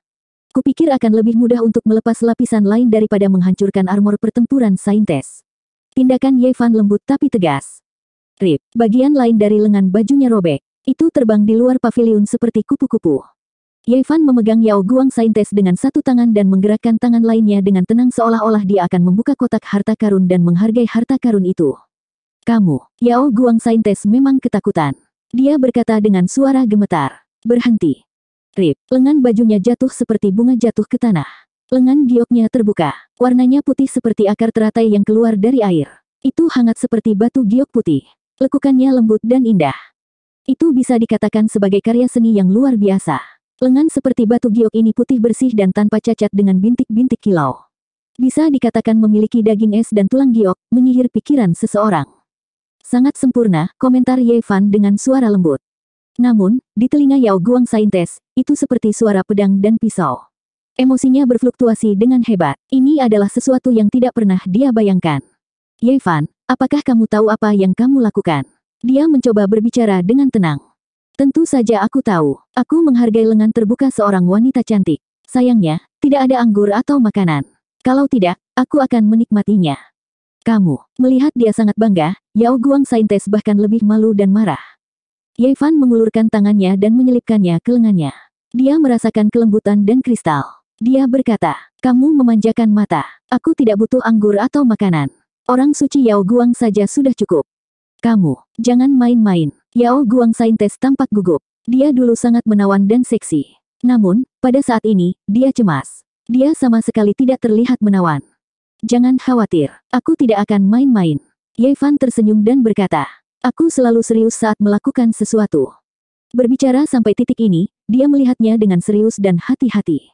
Dengan suara robekan, dia merobek lengan baju lainnya. Lengan giok lainnya juga berkedip dengan kilau kabur, dengan bintik cahaya yang beredar. Yevan, aku bilang aku akan serius. Jangan khawatir. Kemudian, dia berhenti sejenak dan berkata, tidak heran orang mengatakan bahwa dunia adalah yang saya inginkan, begitu pula keindahannya. Tubuh yang indah ada tepat di depan saya. Saya mencintai dunia lebih dari keindahan. Kamu hajingan. Yao Guang Saintes akan menjadi gila. Pada saat ini, dia sedang duduk di pangkuan Ye Fan dengan tangan terbuka. Tubuhnya yang lembut dan indah menempel dengannya. Dia bisa merasakan kehangatan Ye Fan. Dia sangat marah. Ye Fan memegangi pinggangnya dan memunggungi dia. Jari-jarinya bergerak dengan lembut. Pakaiannya seperti bunga, menggambar jalan yang indah dan melayang ke samping. Punggung putihnya sebening kristal. Kulit lembutnya memiliki lapisan merah. Dia sangat dekat dengan Ye Fan. Dia tepat di depannya. Aromanya seperti anggrek. Yao Guang Saintes seperti wanita iblis biasanya. Namun, dalam situasi ini, dia tidak bisa melepaskan dirinya sendiri. Dia sangat malu. Ye, Fan, kamu. Suara Yao Guang Saintes bergetar. Merobek. Suara lain. Pakaiannya jatuh. Punggung Yao Guang Saintes terbuka. Kulitnya yang seperti batu giok sebening kristal dan penuh kilau. Itu seperti sebuah karya seni yang sempurna. Kamu harus mengerti bahwa aku adalah satu-satunya orang suci dari tanah suci Yao Guang. Jika kamu melangkah terlalu jauh, kamu tidak akan dapat mengambilnya kembali. Yao Guang Saintes memunggungi Ye Fan. Dia sedang duduk di pangkuannya. Kulitnya yang seperti batu giok bisa merasakan napasnya di punggungnya. Aku akan bergerak maju. Aku tidak perlu mengambilnya kembali. Berbicara tentang ini, Ye Fan tersenyum dan berkata, Saya ingat pepatah di kampung halaman saya. Apakah Anda binatang buas atau lebih buruk dari binatang buas? Kamu lebih buruk dari binatang buas. Teriak Yao Guang Saintes, tetapi suaranya bergetar. Jika saya tidak melakukan apa-apa, orang akan mengatakan bahwa saya lebih buruk dari binatang buas. Jika saya melakukan sesuatu, saya hanya akan disebut binatang buas. Ye Fan menggelengkan kepalanya dan tersenyum. Sepertinya itu bisa digunakan di mana-mana. Kamu, jangan khawatir. Aku melakukannya dengan serius. Jawab Ye Fan. Matanya jernih. Dia sama sekali tidak terlihat mabuk. Jari-jarinya menyentuh kulitnya yang seperti giok dan berkata, Aku akan mengikuti saranmu. Aku tidak bisa lebih buruk dari binatang buas. Jari-jarinya bergerak di kulitnya yang seperti batu giok. Kehangatan dan kelembutan ditransmisikan dari ujung jari ke hatinya. Namun, dia sangat berpikiran jernih. Merobek, Yevan merobek bagian depan pakaian Yao Guang Saintes dan melemparkannya ke langit. Tangannya bergerak ke depan Yao Guang Saintes. Tangannya hangat, tapi matanya lebih cerah. Tiba-tiba, niat membunuhnya melonjak ke langit. Tepat pada saat ini, orang suci Yao Guang tidak lagi gugup. Dia tidak lagi gemetar. Dia tenang. Seluruh tubuhnya terasa dingin. Cahaya surgawi mengalir keluar dari samudera kesadarannya. Aku sudah menunggumu keluar. Danau emas di antara alis Yevan berubah menjadi matahari dan menyelimuti area di depannya. Aku tahu kamu berakting. Yao Guang Saintes, kamu masih belum punya kesempatan. Kesadaran spiritual Yevan berubah menjadi pedang surgawi emas. Itu terus menebas dan menghancurkan cahaya surgawi berkeping-keping. Kupikir kamu akan keluar di saat-saat terakhir. Aku tidak menyangka kamu masih tidak bisa melepaskannya. Meskipun kesadaran spiritual Yao Guang Saintes diblokir, ekspresinya dingin. Wajah cantiknya tidak menunjukkan emosi. Kesadaran spiritualnya yang kuat bertarung melawan Ye Fan. Dia ingin menembus matahari keemasan. Ye Fan mencibir. Tangannya melingkari tubuh bagian atasnya yang terbuka. Dia bergerak sembarangan. Kamu, Sudah kubilang, aku serius. Ye Fan mencibir. Kamu benar-benar berpikir aku serakah untuk kecantikanmu. Lepaskan saya. Yao Guang Saintes merasakannya. Kulitnya menjadi merah muda. Dia sangat malu. Tentu saja, aku tidak keberatan melakukan hal-hal indah bersamamu. Suara Ye Fan tenang. Kesadaran spiritualnya seperti api yang membakar. Dia menutupi kesadaran spiritual Yao Si dan berkata, Jika aku bisa mengendalikan kesadaran spiritualmu, aku akan mengampuni hidupmu. Berhentilah melawan. 175.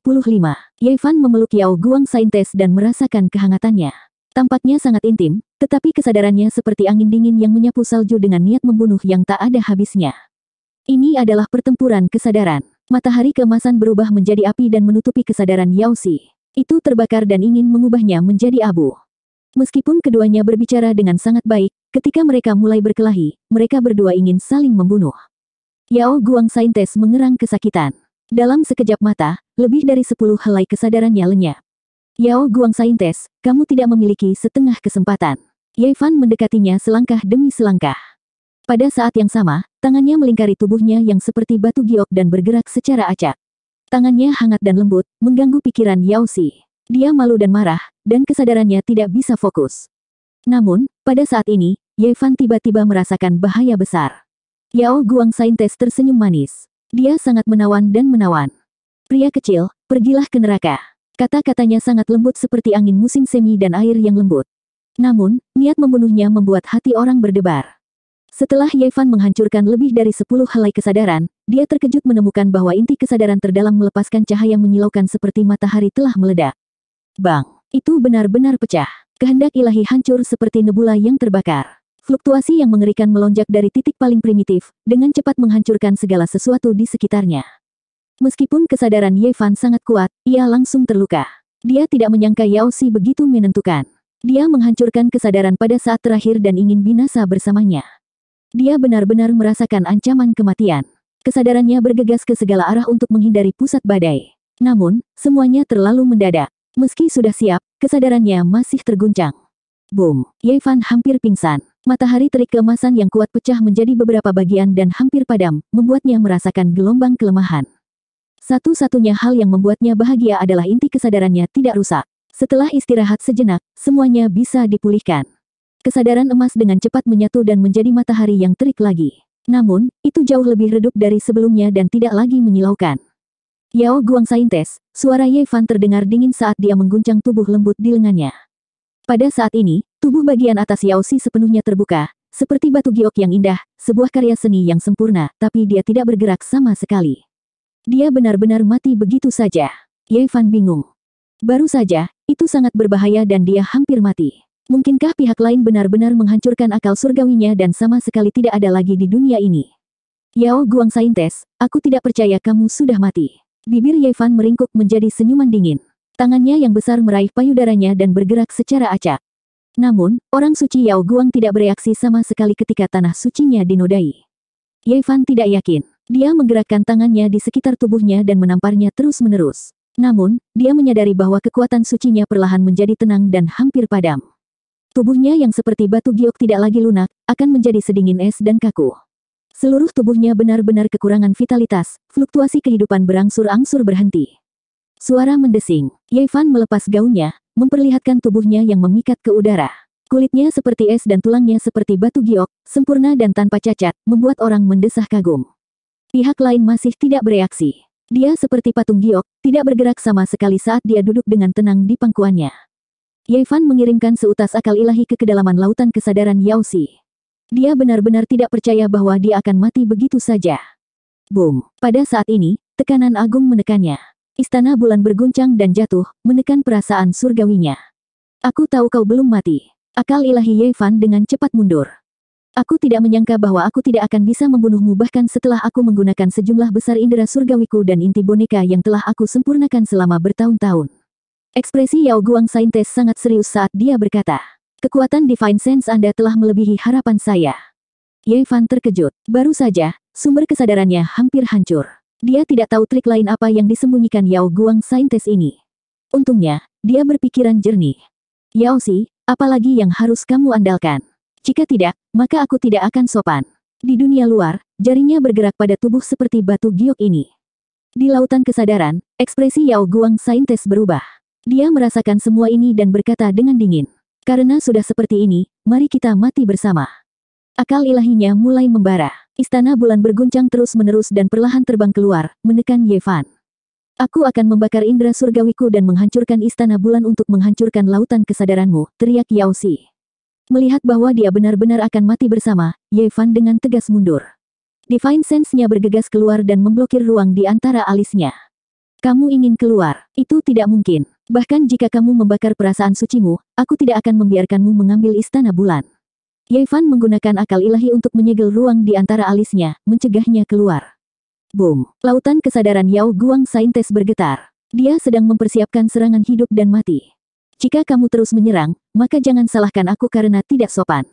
Ye Fan menggerakkan tubuhnya dan berkata, biarkan aku melihat betapa berbedanya yang disebut Saintes itu. Orang suci Yao Guang terkejut dan marah. Hal yang paling dia takuti akhirnya terjadi. Ye Fan benar-benar akan mengacaukan. Jari-jarinya meluncur dengan lembut dan setiap jengkal benda angkasa ini tersentuh. Dia hangat dan lembab di tangannya. Aroma anggrek menyerang lubang hidungnya. Selain rintangan terakhir, tubuh Giok Yao Guang Saintes tidak lagi menjadi rahasia baginya. Jika kamu tidak berkompromi, aku benar-benar tidak keberatan hal-hal indah terjadi. Ye Fan berhenti dan berkata, Sekarang, aku akan memberimu pilihan ketiga. Ucapkan kitab suci kuno dari tanah suci Yao Guang. Dia tahu bahwa jika dia membuat permintaan ini di awal, dia pasti akan menolak. Namun, pada saat putus asa ini, jika dia memberi Yao Si harapan, dia mungkin akan berkompromi.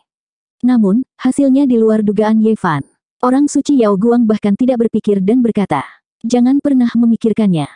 Dia tahu betul bahwa pada titik ini, kompromi hanya akan menguntungkan pihak lain secara sia-sia. Jadi, dia dengan tegas menolak. Jika itu masalahnya, maka biarkan beberapa hal indah terjadi. Ye Fan memeluk Yao Guang Saintes dan tidak lagi sopan. Tangannya makan dengan lahap. Kemudian, dia berdiri dan meletakkannya di atas meja batu di paviliun. Saat ini, hanya ada satu langkah tersisa. Tubuh seputih salju Yao Si berada tepat di depannya, dan semua rahasia terbuka di depannya. Orang suci Yao Guang memiliki tubuh seperti batu giok. Garis-garisnya indah, menguraikan sosoknya yang menggetarkan jiwa. Pada saat ini, tidak ada yang tersisa. Dia sempurna dan jernih, cukup untuk memikat semua makhluk hidup. Bulu mata panjang, Mata seperti permata hitam, pipi seperti batu giok, leher ramping, puncak kembar montok, pinggang ramping, pinggul bulat sempurna, kaki ramping dan lurus seperti batu giok. Pria mana pun yang melihatnya akan memompa darah mereka. Orang suci Yao Guang awalnya tinggi dan dikelilingi oleh lingkaran cahaya tak berujung. Ke mana pun dia pergi, dia akan selalu menjadi pusat perhatian. Banyak pria harus mengaguminya. Namun, saat ini, dia diletakkan di atas meja batu dalam keadaan tanpa busana. Itu tak terbayangkan. Jika berita ini keluar, pasti akan mengguncang seluruh wilayah selatan. Banyak orang akan kurang tidur dan sulit menerimanya. Ye Fan sangat tenang. Dia berdiri di depan meja batu dan tidak segera bergerak. Dia hanya memandangnya dengan tenang. Meskipun orang suci Yao Guang seperti iblis wanita, pada saat kritis ini, dia tidak bisa mengabaikannya. Dia berkata dengan suara gemetar. Karena sudah seperti ini, mari kita hancurkan bersama. Hong. Dia menyulut rasa spiritualnya, membuat istana bulan bergetar. Tanda berdarah berbentuk belah ketupat muncul di antara alisnya. Tampaknya telah retak. Yao Si tidak peduli dengan harganya. Pada akhirnya, dia masih mengaktifkan istana bulan. Istana bulan seperti gunung. Itu sangat megah dan tidak bisa diblokir sama sekali. Pada akhirnya, kamu masih membuat keputusan seperti ini. Kamu tidak peduli dengan harganya, ingin aku menjatuhkanmu bersamaku. Sayangnya, aku tidak akan mati. Ye Fan melayang mundur. Karena dia tidak bisa membunuh pihak lain, maka dia akan membiarkannya bunuh diri. Adapun yang disebut kecantikan, dia tidak peduli tentang itu sekarang. Awalnya, dia hanya mencoba untuk bertahan hidup. Dia menciptakan jalan kehidupan. Semua yang dia lakukan hanyalah cerminan dari metodenya. Yao Guang Saintes, sayang sekali. Aku akan membakar beberapa lembar kertas untukmu. Dalam sekejap mata, Ye Fan mundur beberapa puluh meter.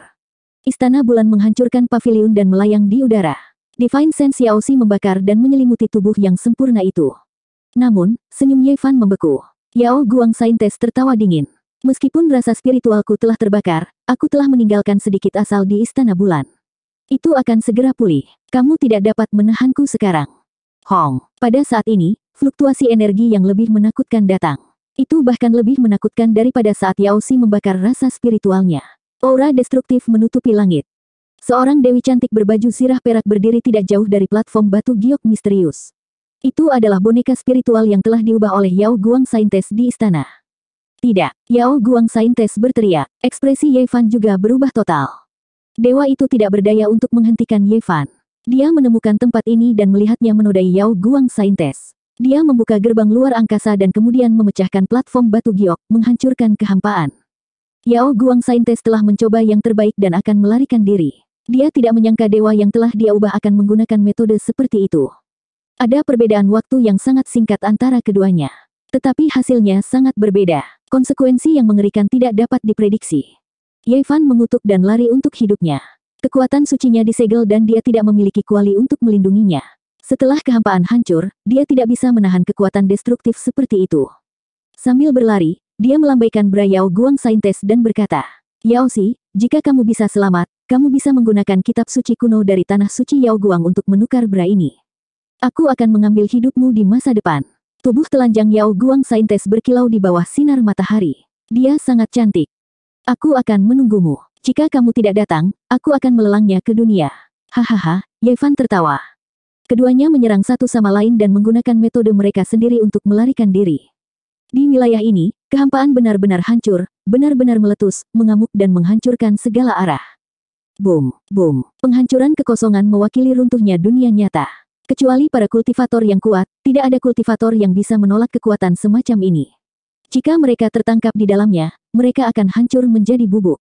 Yevan tidak bisa menggunakan kekuatan sucinya. Meskipun dia cepat, dia masih tidak bisa menghindari gelombang kejut. Itu bukanlah area di mana kekosongan itu hancur. Itu hanya sedikit gelombang kejut dari area luar, tapi masih membuatnya terbang. Pada saat ini, Bahkan tubuhnya yang kuat tidak tahan. Tubuhnya mengeluarkan suara retakan saat dia terbang ratusan meter jauhnya dan jatuh ke aliran gunung.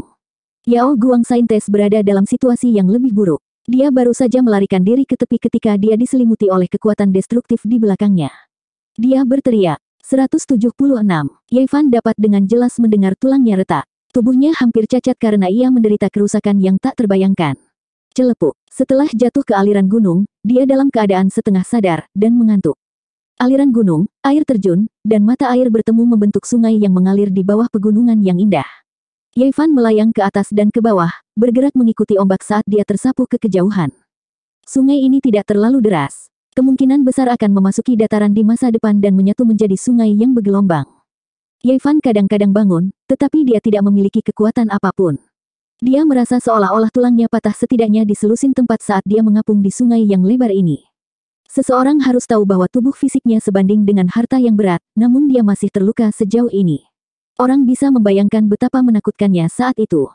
Setelah hanyut selama tiga hari penuh, kesadaran Ye Fan perlahan pulih. Dia segera meringis saat merasakan sakit yang hebat di banyak tempat. Saat ini, sungai sudah tenang. Ada dermaga tidak jauh dengan banyak perahu. Ada sebuah kota di tepi sungai. Bang! Dia hanyut ke dermaga dan menabrak perahu besar. Seseorang segera menemukannya. Sial, sangat sial. Dipukul oleh orang mati, tidak beruntung sepanjang tahun. Orang-orang di perahu mengutuk. Tidak mati, dia sepertinya masih bernafas. Bawa dia dan mari kita lihat. Seseorang pergi ke air dan buru-buru membawa Ye Fan ke atas kapal. Mungkinkah itu ahli dunia kultivasi? Kepala perahu terkejut dan berkata, mungkinkah dia terluka parah dan jatuh ke sungai? Dia mengulurkan tangannya ke arah lautan reinkarnasi Ye Fan. Dia dengan cepat berdiri dan mengutuk. Sepotong sampah, tidak ada fluktuasi kekuatan suci. Yang lain berkumpul dan mengamati Yevan sambil berdiskusi. Wajah cacat, mulut bengkok, mata sipit, satu kaki panjang dan satu kaki pendek. Tubuhnya juga cacat. Saya belum pernah melihat orang yang begitu jelek.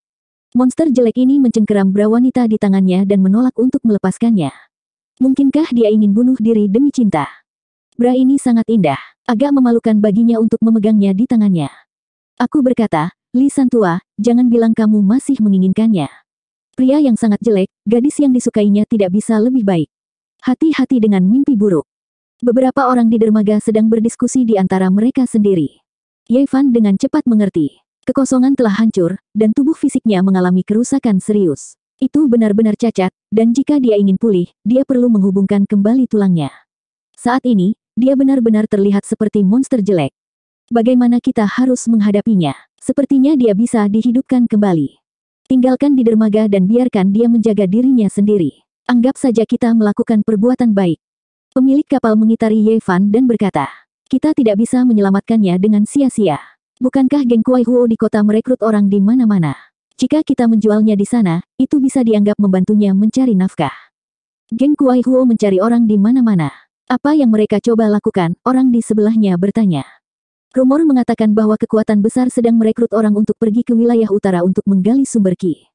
Surga, wilayah utara. Manusia tidak dapat mencapainya bahkan jika mereka berjalan selama sepuluh kehidupan. Bagaimana mereka bisa pergi?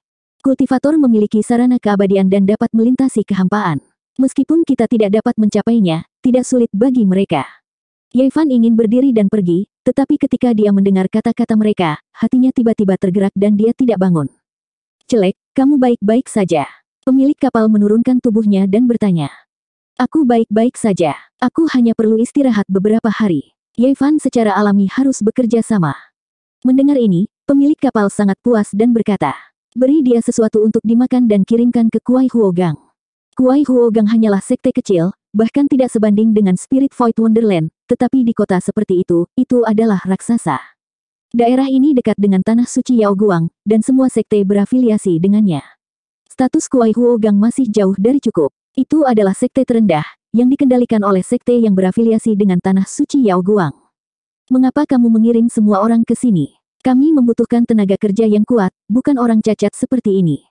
Setelah melihat penampilan Yevan, Kuai Huo Gang sangat tidak puas. Dia sangat kuat, pasti tidak cacat. Jika kamu tidak percaya padaku, biarkan dia membawa batu. Pemilik kapal tersenyum meminta maaf. Yevan bekerja sama dan mengangkat sebuah batu besar. Dia berjalan beberapa langkah sebelum melemparkannya ke tanah. Begitu saja, dia tertinggal. Lima hari kemudian, Kuai Huogang mengirimnya dan ratusan orang ke sebuah sekte bernama Jade Meraj. Periksa dengan hati-hati, jangan biarkan kultivator menyelinap masuk. Kami membawa orang untuk menggali sumber, bukan untuk membantu orang melewati kehampaan. Jika terjadi kesalahan, tidak ada yang dapat memikul tanggung jawab. Jade Meraj berafiliasi dengan Tanah Suci Yao Guang dan melayaninya. Seorang lelaki tua memegang jarum giok di tangannya dan menempatkan Ye Fan dan yang lainnya di depan gunung. Sinar cahaya giok ditembakkan dan menembus lautan reinkarnasi. Sangat bagus, tidak ada kekuatan ilahi. Pria tua itu mengangguk puas. Namun, itu tidak berakhir di situ. Selanjutnya, lebih dari selusin pria tua maju dan memeriksa dengan cermat lebih dari selusin kali sebelum membiarkan ratusan orang itu lewat. Ini adalah pemilihan orang untuk tanah suci Yao Guang, jadi mereka tentu saja tidak berani gegabah. Dalam beberapa hari ini, Fan mempelajari banyak informasi. Munculnya sumber dewa yang luar biasa di wilayah utara telah mengkhawatirkan wilayah Tandus Timur. Banyak kekuatan besar tidak sabar dan datang ke tanah utara untuk mendukung perwakilan mereka sendiri untuk membuka tambang sumber di daerah di mana sumber dewa telah ditemukan. Bertahun-tahun yang lalu, berbagai tanah suci dan klan-klan leluhur telah memasuki wilayah utara dan memiliki sumber tambang sendiri. Kali ini, tambang kuno asal tidak damai, dan sumber dewa telah muncul di tempat lain, yang membuat mereka lebih memperhatikan. Sumbernya sangat misterius. Itu terbentuk sebelum zaman primordial dan bahkan dapat ditelusuri kembali ke awal dunia. Itu terkubur di bawah tanah. Sulit bagi kultivator untuk menemukannya karena dibungkus dengan kulit batu yang aneh. Bahkan kultivator tidak bisa melihat menembus kulit batu semacam ini. Hanya dengan menambang seseorang dapat menentukan apakah ada sumber atau tidak. Itu seperti batu giok di sisi lain langit berbintang. Ketika dibungkus dengan kulit tua, semua jenis instrumen canggih tidak bisa mendeteksinya. Hanya dengan membukanya, seseorang dapat mengetahuinya. Selain itu, terkadang akan ada segala macam hal jahat saat menambang sumber. Misalnya, makhluk misterius yang telah tidur lama akan keluar, atau energi jahat dari sebelum dunia bawah kuno akan bocor. Dengan demikian, sangat sedikit kultivator yang secara pribadi akan menambang sumbernya. Meskipun orang-orang biasa ini tahu bahwa mereka akan pergi ke wilayah utara untuk menambang sumber dan itu tidak aman, mereka tidak dapat menahan godaan emas. Lautan reinkarnasi Yevan telah disegel dan kekuatan sucinya telah mengering. Jika dia tinggal di daerah ini, tidak akan ada jalan keluar. Dia memutuskan untuk mengambil risiko dan menggunakan kesempatan ini untuk pergi ke wilayah utara. Saat ini, banyak tulang di tubuhnya yang cacat, termasuk tulang pipi dan rahangnya. Dapat dikatakan bahwa dia benar-benar cacat. Betis kirinya patah menjadi tiga bagian. Sepertinya kaki kirinya agak pendek, dan bagian lainnya sama. Tubuhnya hampir cacat. Kekuatan hidupnya sangat kuat. Hanya dalam lima atau enam hari, tulangnya yang patah sudah sembuh. Namun karena tidak diperbaiki, setelah tulang-tulang itu disambung kembali, bentuknya menjadi tidak beres. Dia tampak jelek tidak peduli bagaimana orang melihatnya. Ye Fan sengaja terlihat seperti ini. Dia hanya bisa menghubungkan kembali tulang-tulang itu ketika dia mencapai wilayah utara. Dia membutuhkan penampilan seperti ini sekarang. Setelah tinggal di Jade Void Gate selama tujuh atau delapan hari, mereka memeriksanya lagi dan lagi. Setelah memastikan bahwa tidak ada kesalahan, mereka mengirim Ye Fan dan yang lainnya ke tanah suci Yao Guang. Dari jauh, orang-orang dari Jade Void Gate turun dari awan dan berjalan maju bersama ratusan orang. Ye Fan sangat terkejut. Di depannya, ada awan dan awan kemerahan. Banyak gunung mengambang di langit dan bukan di tanah. Setiap gunung itu megah. Beberapa dikelilingi oleh awan setan, dan beberapa dikelilingi oleh kabut berwarna-warni. Seolah-olah mereka telah ada sejak awal dunia dan memancarkan aura dunia bawah kuno. Sekelompok udik pedesaan yang belum pernah melihat dunia. Seorang kultivator muda mengejek. Bahkan, dia juga sangat terkejut. Dia berkata, ini hanyalah sudut dari tanah suci Yao Guang. Di bagian terdalam, bahkan lebih misterius dan megah. Dikatakan bahwa ada semua jenis kuil sebelum zaman purba. Bahkan ada kota dewa yang berdiri di atas awan dan tidak pernah jatuh. Ratusan manusia belum pernah melihat pemandangan seperti itu. Mereka semua tercengang dan memanggil tanah abadi. Beberapa orang bahkan langsung berlutut. Di depan mereka, ada kilatan cahaya. Beberapa tokoh bergegas dengan cepat. Orang-orang di tanah suci Yao Guang ada di depan mereka. Dengan seorang pria parubaya memimpin, beberapa pria dan wanita muda mengikutinya dan mendarat di tanah. Mustahil bagi Yevan untuk mengatakan bahwa dia tidak gugup. Namun, dia harus mengambil risiko. Dia tidak bisa bertahan hidup di wilayah selatan. Untungnya, tidak ada seorang pun di tanah suci Yao Guang yang mengenalnya kecuali orang suci itu. Dia merasa mustahil baginya untuk bertemu dengan orang suci dari tanah suci Yao Guang. Orang-orang dari Jade Void Gate bergegas maju dan membungkuk dengan hormat. Pria paruh baya itu melambaikan tangannya dan meminta mereka untuk berdiri. Cahaya menyilaukan menutupi ratusan orang. Energi aneh berfluktuasi. Setelah seperempat jam, cahaya menghilang. Pria paruh baya itu mengangguk dan berkata, Tidak masalah. Tidak ada kekuatan suci. Mendengar ini, Yevan menghela nafas panjang. Pada saat yang sama, hatinya tenggelam. Bubuk penganugerahan surgawi begitu mengerikan sehingga bisa mengeringkan kekuatan sucinya untuk sementara. Bahkan seorang kultivator yang kuat tidak dapat melihatnya. Apakah dia masih bisa sembuh? Kultivator paruh baya melambaikan lengan bajunya. Tiba-tiba, langit tertutup dan ratusan orang dibawa masuk. Ratusan manusia berteriak kaget. Teknik rahasia semacam ini membuat mereka sangat terkejut. Namun, tidak lama kemudian, mereka melihat matahari lagi. Mereka muncul di sebuah pulau besar yang mengambang di langit. Di sekitar mereka, kabut berkabut dan awan bergerak naik turun. Mereka samar-samar bisa melihat banyak gunung mengambang di kejauhan. Mereka agung tetapi tidak kehilangan keindahannya. Mereka bisa disebut luar biasa. Ini adalah tanah suci Yao Guang. Saya hanya melihat sebagian kecil saja. Ini sangat megah dan megah. Tidak heran itu disebut tanah suci. Taixuan cukup besar, tapi tidak bisa dibandingkan dengan ini. Ye Fan menghela nafas. Dia benar-benar ingin tahu betapa megahnya berbagai kuil kuno di kedalaman tanah suci Yao Guang. Dia ingin melihat kota abadi yang tidak akan pernah jatuh. Namun, dia tidak bisa melakukan apa yang dia inginkan. Saat ini, dia hanyalah manusia biasa yang akan menggali sumber. Tiba-tiba, ekspresi Ye Fan membeku. Di pulau terapung, seorang wanita mendarat. Dia transenden dan sangat akrab. Dia mengenakan jubah biru dan tampak seperti teratai putih dengan tetesan embun yang bergulung. Dia juga terlihat seperti teratai salju di gunung bersalju. Dia memberikan perasaan menyegarkan dan alami. Wei Wei, Ye Fan terkejut. Dia telah melihat seorang teman lama. Wei Wei berasal dari Void Spirit Wonderland. Dialah yang membawa Ye Fan, Pang Bo, dan yang lainnya keluar dari hutan di luar tanah terlarang kuno tandus. Rumor mengatakan bahwa dia sangat berbakat dan jarang terlihat dalam seribu tahun. Void Spirit Wonderland tidak ingin menyia-nyiakan bakatnya dan mengirimnya ke tanah suci Yao Guang. Dia tidak mengira mereka akan bertemu lagi hari ini. Ye Fan menoleh ke samping, tidak ingin ditemukan olehnya. Kakak senior Yao Si kembali. Kali ini, dia tampaknya menderita kerugian besar di luar. Lukanya sangat serius, kata seorang murid dari tanah suci Yao Guang. Kakak senior Yao Si akan segera pergi ke wilayah utara. Bibir merah Wei Wei terbuka saat dia melirik Ye Fan. Kemudian, dia perlahan berjalan pergi. Di depan, kabut berkabut. Sebuah gerbang berdiri di depan mereka. Semua manusia harus melewatinya dan sekali lagi, mereka akan diperiksa. Selain ratusan dari mereka, ada ribuan orang yang menunggu di sini. Semua orang melewati satu persatu dan tidak ada yang terjadi. Ini membuat Ye Fan menghela nafas lega. Aku harus pergi ke wilayah utara. Hari ini, aku akan membawa sekelompok orang bersamaku. Di tengah pulau, ada platform tinggi. Itu benar-benar terbuat dari suan jade dan bersinar terang. Seorang lelaki tua berbaju hijau berdiri di atas dengan beberapa murid muda di belakangnya. Selamat tinggal, Yang Mulia Penatua. Wei Wei dan yang lainnya membungkuk di bawah peron. Suara mendesing. Pria tua berbaju hijau itu melambaikan lengan bajunya dan ribuan orang dibawa ke lengan bajunya. Kemudian, platform Gioxuan melesat ke langit dan gerbang terbuka. Dia melangkah masuk dan orang-orang muda mengikutinya. Setelah dibawa ke lengan tanah suci Yao Guang, Fan menghela nafas lega. Dia akan memasuki wilayah utara. Kali ini, dia akhirnya meninggalkan wilayah selatan. 177. Itu benar-benar sunyi. Waktu tidak berlalu, dan tidak ada cahaya atau bayangan. Itu sangat sunyi di kehampaan yang gelap gulita. Rasanya seperti sesaat, tapi juga seperti sepuluh kehidupan. Perjalanan aneh ini akhirnya berakhir, dan orang bisa merasakan aliran waktu. Kekosongan terbuka, dan penatua tertinggi dari tanah suci Yao Guang berjalan keluar, diikuti oleh beberapa murid muda. Mereka berdiri dengan hormat di samping. Dia melambaikan lengan bajunya, dan kabut kelabu memenuhi udara. Ribuan orang jatuh ke tanah dan keluar dari lengan bajunya yang lebar. Apakah mereka di wilayah utara?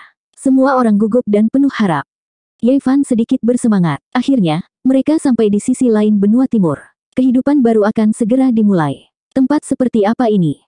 Melihat sekeliling, itu benar-benar berbeda dari apa yang dia bayangkan.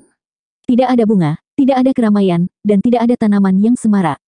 Tanah itu sunyi sepi. Tanahnya berwarna merah, dan bebatuannya berwarna coklat kemerahan. Itu suram dan sepi. Tanah tak terbatas itu sangat kosong. Tidak ada tanda-tanda kehidupan sama sekali. Hanya beberapa gunung batu gundul yang menghiasi cakrawala. Itu adalah tanah tandus tanpa tanda-tanda kehidupan. Tidak ada tanda-tanda kehidupan sama sekali. Itu tak bernyawa. Ini wilayah utara. Bukankah mereka mengatakan bahwa tempat ini penuh dengan emas dan mutiara? Petik 2. Belum lagi orang, aku bahkan tidak bisa melihat sehelai rumput pun. Tempat macam apa ini? Kita harus mengumpulkan sumber asal di sini selama 10 tahun sebelum kita dapat kembali ke wilayah selatan, ya Tuhan. Pada saat ini, ribuan orang tercengang. Tempat dingin dan pahit yang menyerupai Gobi ini menimbulkan perasaan tidak enak di hati setiap orang. Penatua tertinggi Tanah Suci Yao Guang mengerutkan kening dan berkata, Bukankah sekolah yang mengirimmu ke sini memberitahumu tempat seperti apa ini? Ini benar-benar berbeda dari apa yang mereka katakan.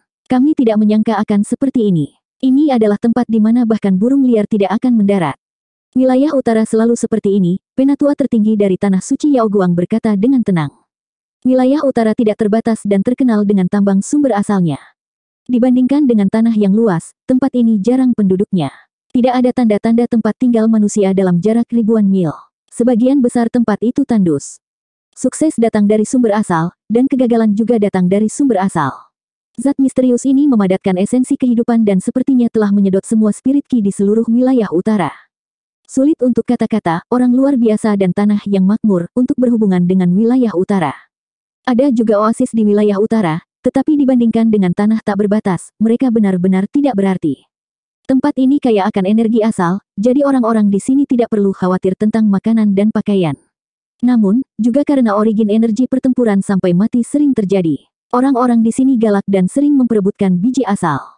Oleh karena itu, ketika Sage Agung menggali tambang sumber asal di wilayah utara, mereka kebanyakan membawa orang dari daerah mereka sendiri.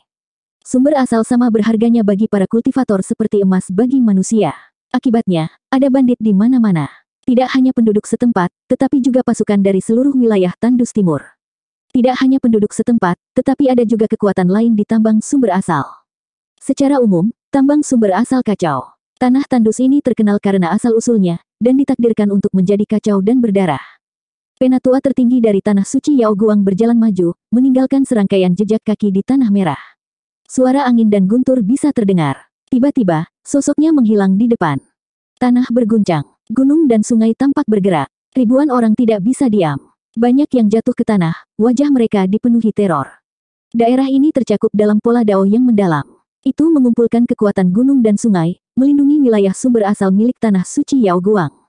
Ribuan manusia, mau atau tidak, tidak punya pilihan setelah datang ke wilayah utara. Mereka hanya bisa berharap 10 tahun akan berlalu dengan cepat dan mereka akan mendapatkan cukup uang untuk kembali ke wilayah selatan untuk menikmati kekayaan yang telah mereka tukarkan selama 10 tahun masa muda. Dengan begitu banyak orang yang datang, akomodasi dan makanan menjadi masalah. Namun, ada orang yang diatur khusus untuk mereka. Tetua Agung Tanah Suci Yao Guang menghilang setelah tiba. Wilayah utara memiliki area penambangan yang tak ada habisnya, tetapi dalam hal produksi, itu adalah area di sekitar tambang kuno asal. Dengan itu sebagai pusatnya, area dalam jarak 100.000 mil dibagi rata di antara tanah Sage Agung. Tambang kuno asal adalah salah satu dari tujuh area terlarang di Eastern Wasteland. Itu berada di bagian terdalam dari area ini dan dikelilingi oleh tanah Sage Agung. Namun, tidak ada yang berani menjelajahinya. Bertahun-tahun yang lalu, terlalu banyak hal yang tidak menguntungkan telah terjadi di tambang kuno asal. Satu demi satu Saint Lord pergi dan tidak pernah kembali. Tidak ada yang berani memiliki ide tentang itu. Tempat itu menjadi bumi mimpi buruk yang legendaris. Di wilayah utara, tambang kuno asal adalah yang paling misterius dan menakutkan, tetapi jika tidak diprovokasi, tidak akan ada bencana. Bagi Tanah Suci, bahaya terbesar adalah para bandit itu. Wilayah utara adalah tempat di mana orang-orangnya galak dan bandit ada di mana-mana. Darah ditumpahkan setiap hari. Itu benar-benar tempat yang kacau. Bandit yang kuat datang dari seluruh Wastelen Timur. Bahkan ada pengembara dari dataran tengah dan gurun utara. Mereka semua datang untuk sumber asal, membentuk kekuatan yang menakutkan. Bahkan tanah suci tidak bisa duduk dan bersantai. Wilayah sumber asal mereka juga terancam dirampok. Ini tidak berlebihan. Beberapa bandit sangat menakutkan. Kekuatan mereka sebanding dengan tetua agung tanah suci. Mereka datang dan pergi tanpa jejak dan sangat sulit ditangkap. Di wilayah utara, ada 13 bandit paling terkenal. Mereka masing-masing memimpin sekelompok prajurit yang kuat dan secara serius mengancam keamanan area asal Tanah Suci.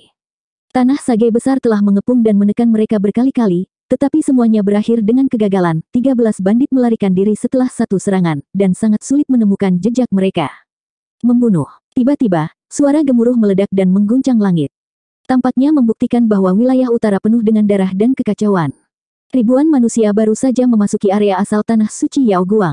Kekuatan langit dan bumi yang diringkas oleh pola Dao belum terkumpul ketika sekelompok prajurit surgawi tiba. Hanya ada 70 hingga 80 orang yang datang. Masing-masing menunggangi binatang buas bersisik tebal.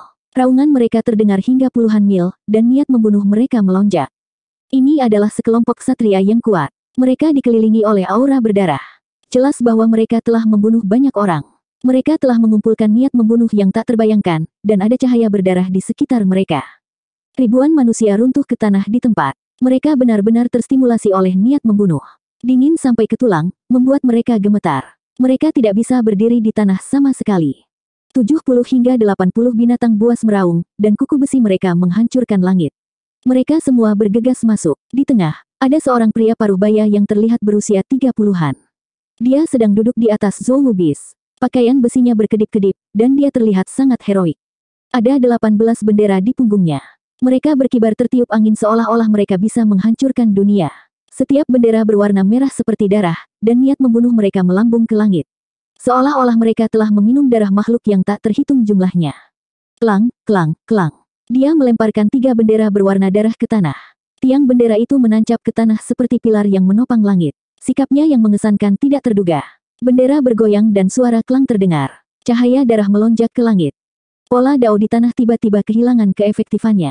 Kekuatan langit dan bumi berhenti bergerak, dan tidak bisa menutupi tempat ini. Semua ini karena tiga bendera berwarna darah. Membunuh. Satria ini semuanya sangat kuat. Mereka seperti jenderal surgawi dengan kekuatan pertempuran yang tak tertandingi. Mereka mengendarai binatang buas seperti banjir baja, dan langit bergemuruh. Siapa yang berani masuk ke tanah terlarang Yao Guang? Para kultivator tanah suci Yao Guang semuanya terbang ke langit dan menghalangi jalan mereka. Pemimpinnya adalah tiga lelaki tua dengan rambut dan janggut putih, dan mata mereka tajam seperti kilat. Aku, Jiang Yi, ada di sini. Siapa yang berani menghentikanku? Pria paruh baya di tengah yang mengendarai Zhou Bis memiliki pakaian besi yang dingin, dan 15 bendera berwarna darah ditempelkan di punggungnya, mengeluarkan energi yang mengerikan seperti lautan.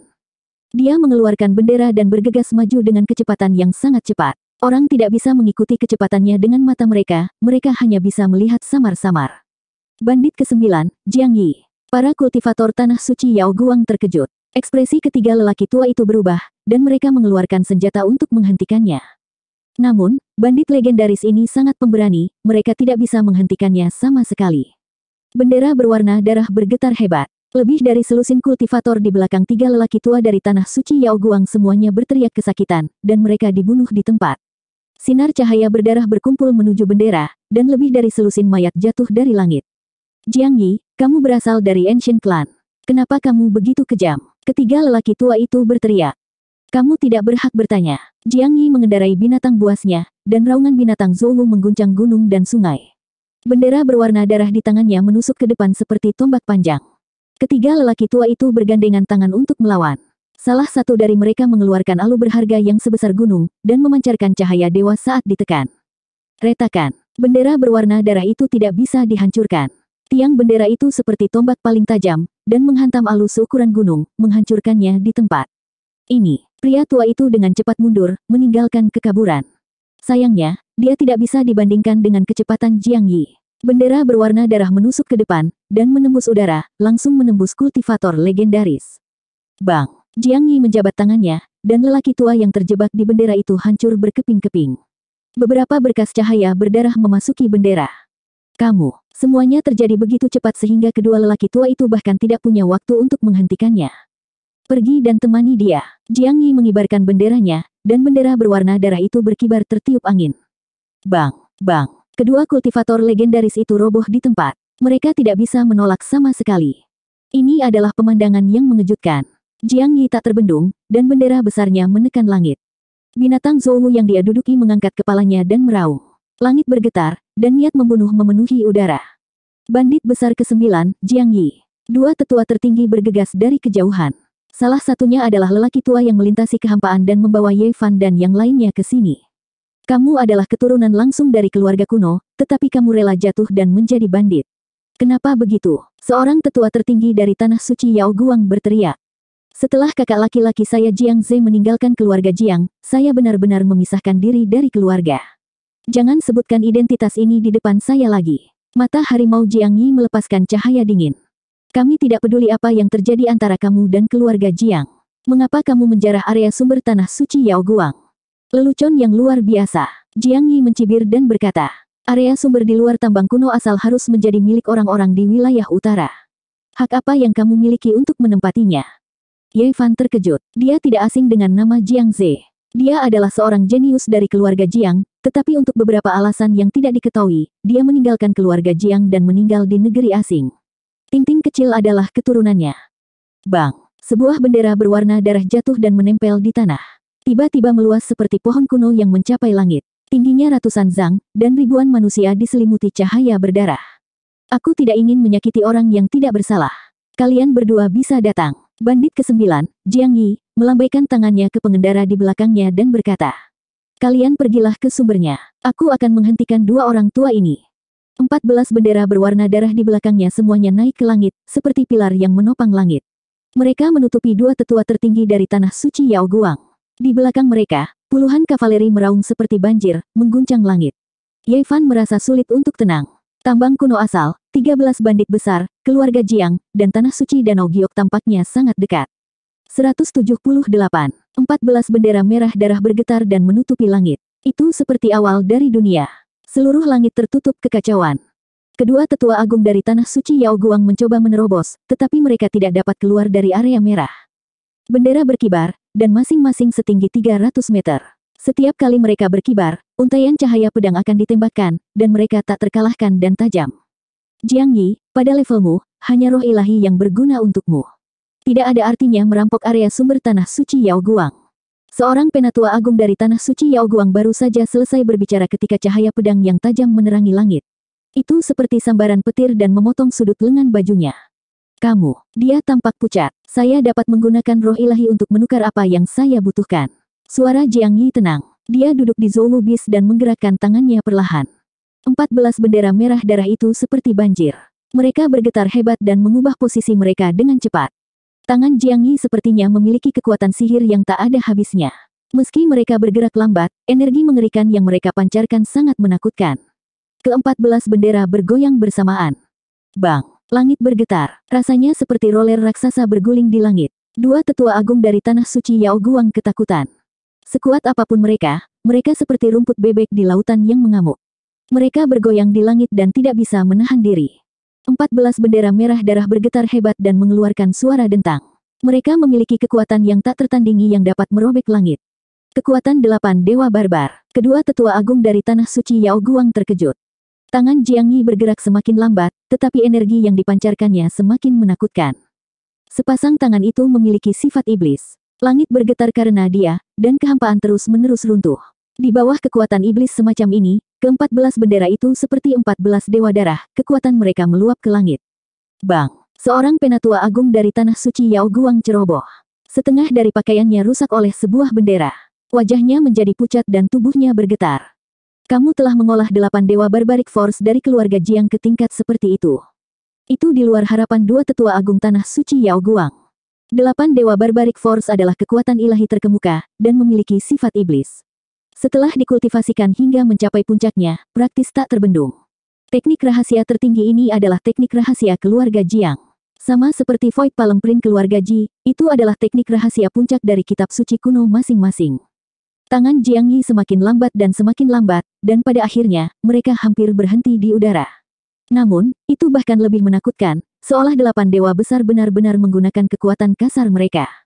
Langit seperti rawa atau medan kekuatan iblis, yang membuat dua tetua tertinggi dari tanah suci Yao Guang bergerak semakin lambat, seolah-olah mereka akan ditahan di sana. Adapun 14 spanduk, api merah melonjak ke langit, memaksa mereka berdua untuk bergerak semakin dekat. Ruang di antara mereka menyusut. Bang! Saat tangan Jiang Yi hendak berhenti bergerak, dia tiba-tiba mengguncangnya. Ruang di depan mereka tiba-tiba runtuh, dan 14 bendera bergetar hebat. Kekuatan delapan dewa barbar menyebar seperti ribuan gelombang yang mengamuk. Itu sangat keras dan mendominasi, dan langsung mengiring dua tetua agung terbang. Darah menetes di sudut mulut kedua tetua tertinggi tanah suci Yao Guang, dan mereka tampak tercengang. Kekuatan delapan dewa barbar memang menakutkan. Tidak heran itu disebut teknik rahasia tertinggi. Namun, jika hanya ini yang Anda miliki, saya khawatir Anda tidak akan dapat membunuh kami, dan Anda akan mati. Keduanya tampak acuh tak acuh, dan suara mereka rendah. Jiang Yi telah membuat mereka memuntahkan darah, yang membuat mereka sulit untuk tenang ingin membunuhku. Datang dan coba. Jiang Yi duduk di Zhou Bis tanpa bergerak, dan tangannya mulai bergerak lagi. Pada saat yang sama, dua tetua tertinggi dari tanah suci Yao Guang, salah satunya mengeluarkan labu emas ungu, dan yang lainnya mengeluarkan lonceng tembaga. Keduanya tergantung di atas kepala mereka, dan banyak lampu warna-warni jatuh, menutupi mereka seperti tirai. Cahaya pedang dari 14 spanduk menyilaukan, tetapi mereka tidak bisa mendekati dua tetua tertinggi.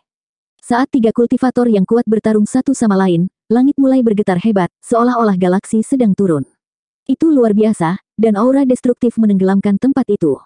Bahkan tanah pun terpengaruh. Namun, ada spanduk besar yang tertancap di tanah, dan tingginya ratusan meter. Sinar cahaya merah darah mengalir keluar darinya, menutupi ribuan orang biasa. Tidak ada yang terluka. Kekuatan delapan dewa barbar. Yevan menatap langit dan bergumam pada dirinya sendiri. Dia memikirkan beberapa catatan dalam kitab kenaikan. Yang pertama dari delapan dewa adalah penguasa surga. Kuil harus dibangun di bawah gunung yang tinggi, di atas gunung kecil, dan namanya, Ho. Tidak lama kemudian, binatang aneh itu meraung, dan puluhan pengendara bergegas mendekat. Anak buah Jiang Yi telah kembali dengan banyak sumber daya. Boom! Jiang Yi menggunakan kekuatan delapan dewa barbar, dan tangannya bergetar hebat di udara, mendorong mundur dua tetua tertinggi. Ayo pergi. Dia dan para penunggangnya bergegas ke langit, dan 14 spanduk berwarna merah darah menghentikan dua tetua tertinggi, sehingga mereka tidak bisa mengejar mereka. Di tanah, ada empat spanduk, dan mereka terbang ke langit satu demi satu. Pada akhirnya, 14 spanduk juga menghilang dengan cahaya merah darah yang menutupi matahari. Dua tetua tertinggi mengejar mereka, tidak mau membiarkan mereka pergi. Pada saat yang sama, teriakan perang datang dari langit. Bala bantuan dari tanah suci Yao Guang telah tiba. Daerah di sekitar tambang kuno asal dibagi di antara tanah suci wilayah Tandus Timur. Tanah suci Yao Guang memiliki beberapa zona sumber, dan masing-masing dijaga oleh prajurit yang kuat. Sayangnya, Jiang Yi sudah siap. Dia melarikan diri setelah satu serangan, membuka gerbang luar angkasa, dan menghilang. Pada akhirnya, tetua tertinggi dari tanah suci Yao Guang kembali tanpa hasil, dan wajah mereka menjadi gelap. Ye Fan terdiam. 13 bandit itu terlalu sombong. Mereka bahkan berani merampok tanah suci. Faktanya, ketiga belas bandit itu semuanya memiliki latar belakang yang luar biasa. Beberapa adalah prajurit yang kuat dari wilayah Tandus Timur, beberapa adalah prajurit yang kuat dari dataran tengah, dan beberapa adalah raksasa dari gurun utara. Badai berlalu dengan cepat, ribuan manusia dipisahkan dan didistribusikan ke berbagai area di zona sumber. Meskipun ini adalah pertama kalinya mereka di sini, itu tidak memberi orang perasaan baru. Zona sumber yang tercakup dalam pola Dao tidak berbeda dengan dunia luar. Kehancuran adalah tema abadi. Rumah-rumah batu rendah, bebatuan coklat kemerahan, dan area penambangan tidak bernyawa dan tidak bernyawa. Di kejauhan, para penambang tidak berekspresi. Mereka bekerja dengan kaku, keluar masuk tambang, mengangkut tanah dan batu. Mereka hampir mati rasa. Mereka sama sekali tidak bereaksi terhadap para pendatang baru, seolah-olah mereka telah kehilangan jiwa mereka. Banyak orang merasakan hawa dingin di hati mereka. Apakah ini gambaran masa depan mereka? Kerja monoton, berulang hari demi hari, menjadi orang mati berjalan. Dalam tiga hari, Yevan belajar banyak. Mengumpulkan sumber daya bukanlah masalah besar, dan itu hanya membutuhkan kekuatan fisik. Namun, begitu sesuatu yang jahat terjadi di tambang, itu sangat berbahaya. Bahkan kultivator yang kuat tidak dapat bertahan hidup, apalagi manusia. Hanya sedikit orang yang bisa hidup lebih dari 10 tahun, dan mereka yang bisa kembali ke wilayah selatan dengan sejumlah besar koin emas sangat sedikit. Yevan mengerutkan kening. Lingkungannya ditutupi dengan pola dao yang padat, dan mereka diisolasi dari dunia luar. Mereka hanya bisa pergi pada waktu-waktu khusus. Butuh banyak upaya untuk melarikan diri. Dia tidak cemas. Tempat ini adalah tanah harta karun. Ada batu asal yang terkubur di bawah tanah. Jika dia bisa mengumpulkannya dan menggunakannya untuk berkultivasi, dia akan bisa mendapatkan hasil dua kali lipat dengan setengah usaha. Di daerah ini, satu-satunya hal yang dia takuti adalah Yao Guang Saintes. Jika Yao Si datang, itu akan buruk. Memikirkan korset di lengannya, dia tertawa.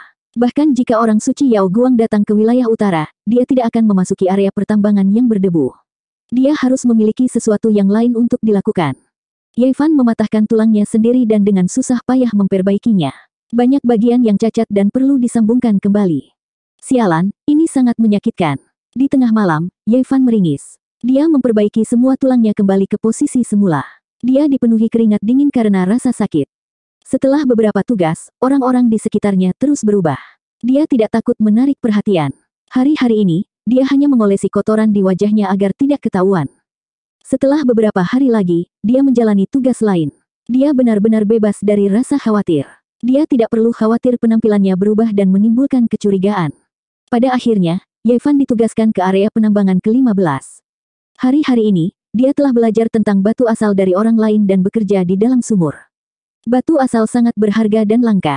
Saat menggali tambang, pertama-tama seseorang harus menentukan vena. Vena origin stone adalah tambang. Bahkan di area ini, batu asal tidak ada habisnya. Tambang skala kecil hanyalah inti dari batu asal. Cukup bagus untuk menggali beberapa kilogram origin stone. Yang terburuk hanya bisa menghasilkan beberapa tile batu asal. Tambang berskala besar mungkin dapat menggali lebih dari satu meter persegi batu asal. Ini adalah jumlah yang mengejutkan, tetapi sangat jarang melihat urat batu asal seperti itu. Tidak heran Jihui terkutuk itu memberiku batu asal seukuran kepalan tangan dan merasa itu cukup untuk membalas kebaikanku kepada Jiklan. Batu asal adalah barang langka. Batu asal seukuran kepalan tangan dapat memungkinkan kultivator alam jembatan ilahi untuk maju melalui alam. Saat itu, dia berada di alam jembatan ilahi. Namun, untuk jurang maut seperti Yevan, origin stone seukuran kepalan tangan masih jauh dari cukup untuk menembus alam. Ini bukan kekurangan. Meskipun dia membutuhkan banyak esensi kehidupan, kekuatan dewanya lebih kuat dari orang biasa. Sulit bagi para kultivator dari alam yang sama untuk membandingkannya. Selain itu, dia dapat terus menyerap batu asal untuk digunakan sendiri. Tidak ada batasan. Dan untuk para kultivator alam jembatan ilahi biasa, meskipun batu asal seukuran kepalan tangan dapat membuat terobosan alam, mereka tidak dapat segera menyerapnya. Mereka perlu menyerapnya secara perlahan dan butuh waktu lama untuk memperbaikinya ke dalam tubuh mereka. Jika ada gunung asal di depannya, Yevan dapat terus menyempurnakannya. Kultivator biasa tidak bisa. Mereka hanya bisa melakukannya perlahan. Bahkan jika mereka iri, mereka hanya bisa menatap. Tentu saja, memurnikan kekayaan alam untuk digunakan sendiri hanya dapat dilakukan pada tahap awal kultivasi. Begitu seseorang berkultivasi ke ranah rahasia ketiga, akan sangat sulit untuk mengandalkan objek eksternal. Pada saat itu, seseorang harus memahami Dao. Setelah mencapai ranah rahasia ketiga, hanya memahami Dao yang dapat meningkatkan kultivasi seseorang. Tidak ada jalan pintas lainnya. Area penambangan ke-15 adalah tanah yang luas dan tak terbatas. Tanah dan batu berwarna coklat kemerahan itu keras dan sulit digali. Di daerah ini, selusin lubang telah digali. Jumlah origin seton sedikit. Setiap tambang hanya menghasilkan 1 kg origin seton. Setiap vena asal hanya menghasilkan satu kilogram batu asal. Memang agak miskin. Namun, batu asal yang dikumpulkan sangat jernih dan memiliki sedikit kotoran. Kualitasnya sangat tinggi. Selain itu, area penambangan ke-15 tidak terbatas. Itu baru saja digali, jadi sulit untuk menyimpulkan bahwa tidak ada vena asal super di sini. Pada hari ke-20, setelah Ye Fan cukup mengerti, dia akhirnya dikirim ke tambang untuk memulai panen origin stone pertamanya. Amitabha, Amitabha, biarkan aku memanen batu asal dan menyempurnakannya untukmu. Tiba-tiba, saat Ye Fan memasuki tambang, teriakan datang dari luar. Mendengar teriakan seperti itu, para penambang origin stone yang berpengalaman semua memanjat tambang seolah-olah hidup mereka bergantung padanya, melarikan diri dengan panik. Sialan, ini hari pertamaku memanen batu asal, dan aku sudah menemukan sesuatu yang jahat. Tulang Yevan sudah disambungkan kembali. Tubuh fisiknya tak tertandingi. Dia gesit seperti keraroh, dan dia yang pertama keluar dari tambang. Tambang di depan berhantu. Ada sesuatu yang tidak menyenangkan di tambang itu.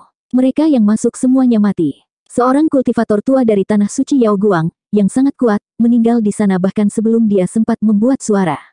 Tepat di depan, tambang tetangga memancarkan aura iblis, seolah-olah ada makhluk yang akan keluar. Setelah melihat ini, Yevan segera berlari dan mundur dengan cepat. Dia punya firasat buruk bahwa dia tidak bisa tinggal di sini. Di dekat tambang, banyak orang yang pingsan, dan ada mayat di mana-mana. Area pertambangan ke-15 berada dalam kekacauan. Para penambang batu asal ketakutan.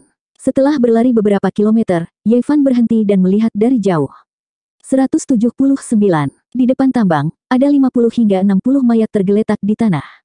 Semuanya memiliki wajah abu-abu dan mata mereka terbuka lebar. Semua penambang berpengalaman menjadi pucat. Mereka mengambil jalan memutar dari tambang, dan tidak ada yang berani maju. Tambang ke-15 dalam keadaan panik. Semua orang telah mundur, dan kebanyakan dari mereka gemetar ketakutan. Gumpalan kabut kelabu merembes keluar dari tambang. Meskipun mereka jauh, mereka masih bisa merasakan tekanan. Apa-apaan? Ye Fan terkejut. Dia tahu bahwa hal-hal seperti itu kadang-kadang akan terjadi di tambang sumber, tetapi dia masih terkejut saat mengalaminya sendiri. Seorang lelaki tua yang telah menambang di sini selama 8 hingga 9 tahun berkata dengan khawatir di matanya.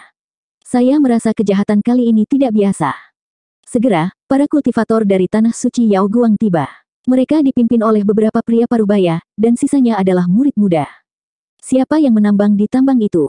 Apakah ada yang selamat? Seorang pria paruh baya bertanya.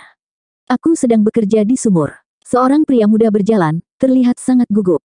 Ada orang lain, pria paruh baya itu bertanya lagi. Enam atau tujuh orang keluar, semuanya panik. Apa yang Anda lihat? Kultivator setengah baya bertanya. Kami tidak melihat apa-apa. Kami hanya mendengar jeritan, lalu kami melarikan diri. Di mana kakak senior Kin? Bukankah dia berpatroli di sini? Pria paruh baya itu mengerutkan kening. Yang tua abadi itu juga jatuh di tambang. Apa? Mata pria paruh baya itu melebar. Kakak Kin meninggal. Ya, penambang sedikit gugup. Awalnya, sesuatu sepertinya telah ditemukan di bawah sana. Dewa tua menerima laporan dan secara pribadi turun untuk melihatnya. Pada akhirnya, sesuatu yang jahat terjadi, dan semua orang mati. Orang lain menambahkan, untungnya, kami melarikan diri. Kalau tidak, kami tidak akan selamat berdiri di dalam sumur. Tak perlu dikatakan, semua orang melihat ada 50 hingga 60 mayat di sumur. Para kultivator parubaya dari tanah suci Yao Guang saling memandang dan mengerutkan kening. Ini adalah hal terakhir yang ingin mereka lihat. Setelah tambang sumber dihantui, itu akan sangat berbahaya. Sumur itu dipenuhi kabut kelabu. Itu terlihat sangat aneh dan meresahkan. Apakah mereka menggali sesuatu yang hidup, kata seorang pria parubaya. Mendengar ini, ekspresi semua orang berubah. Jika itu masalahnya, itu akan menjadi pertanda buruk. Dikatakan bahwa keluarga Jiang menggali tambang hantu belum lama ini dan menggali beberapa tulang berdarah. Akibatnya, banyak orang meninggal. Percakapan antara kultivator paruh baya membuat jantung Ye Fan berdetak kencang. Tambang sumber di bawah tanah penuh dengan misteri dan hal yang tidak diketahui. Biarkan aku menangkap gumpalan kabut abu-abu dan lihat apa itu. Seorang pria paruh baya membuka mulutnya dan mengeluarkan botol perak seukuran ibu jari. Itu berubah menjadi seberkas cahaya perak dan terbang ke depan. Itu melepaskan lingkaran cahaya lembut dan mulai menyerap kabut abu-abu. Sesuatu yang mencengangkan terjadi. Begitu gumpalan kabut abu-abu masuk, botol perak itu pecah. Itu menjadi redup dan jatuh ke tanah. Ini, tubuh pria paruh baya itu bergetar. Senjata yang disempurnakan oleh seorang kultivator alam istana suci bahkan tidak bisa menghalangi gumpalan kabut abu-abu. Apa itu? Semua orang terkejut. Pria paruh baya semuanya mengungkapkan ekspresi serius. Kali ini, agak tidak biasa, dan mereka tidak terlalu percaya diri. Setelah dua jam penuh, kabut abu-abu akhirnya menghilang dan menghilang dari dunia. Tidak lama kemudian, seekor ayam dilemparkan ke dalam tambang. Itu terus berkicau, tetapi tidak mati bahkan setelah waktu yang lama. Para kultivator paruh bayam menghela nafas lega. Ini tidak seburuk yang kukira. Sepertinya itu hanya aura yang mengerikan, bukan tambang hantu.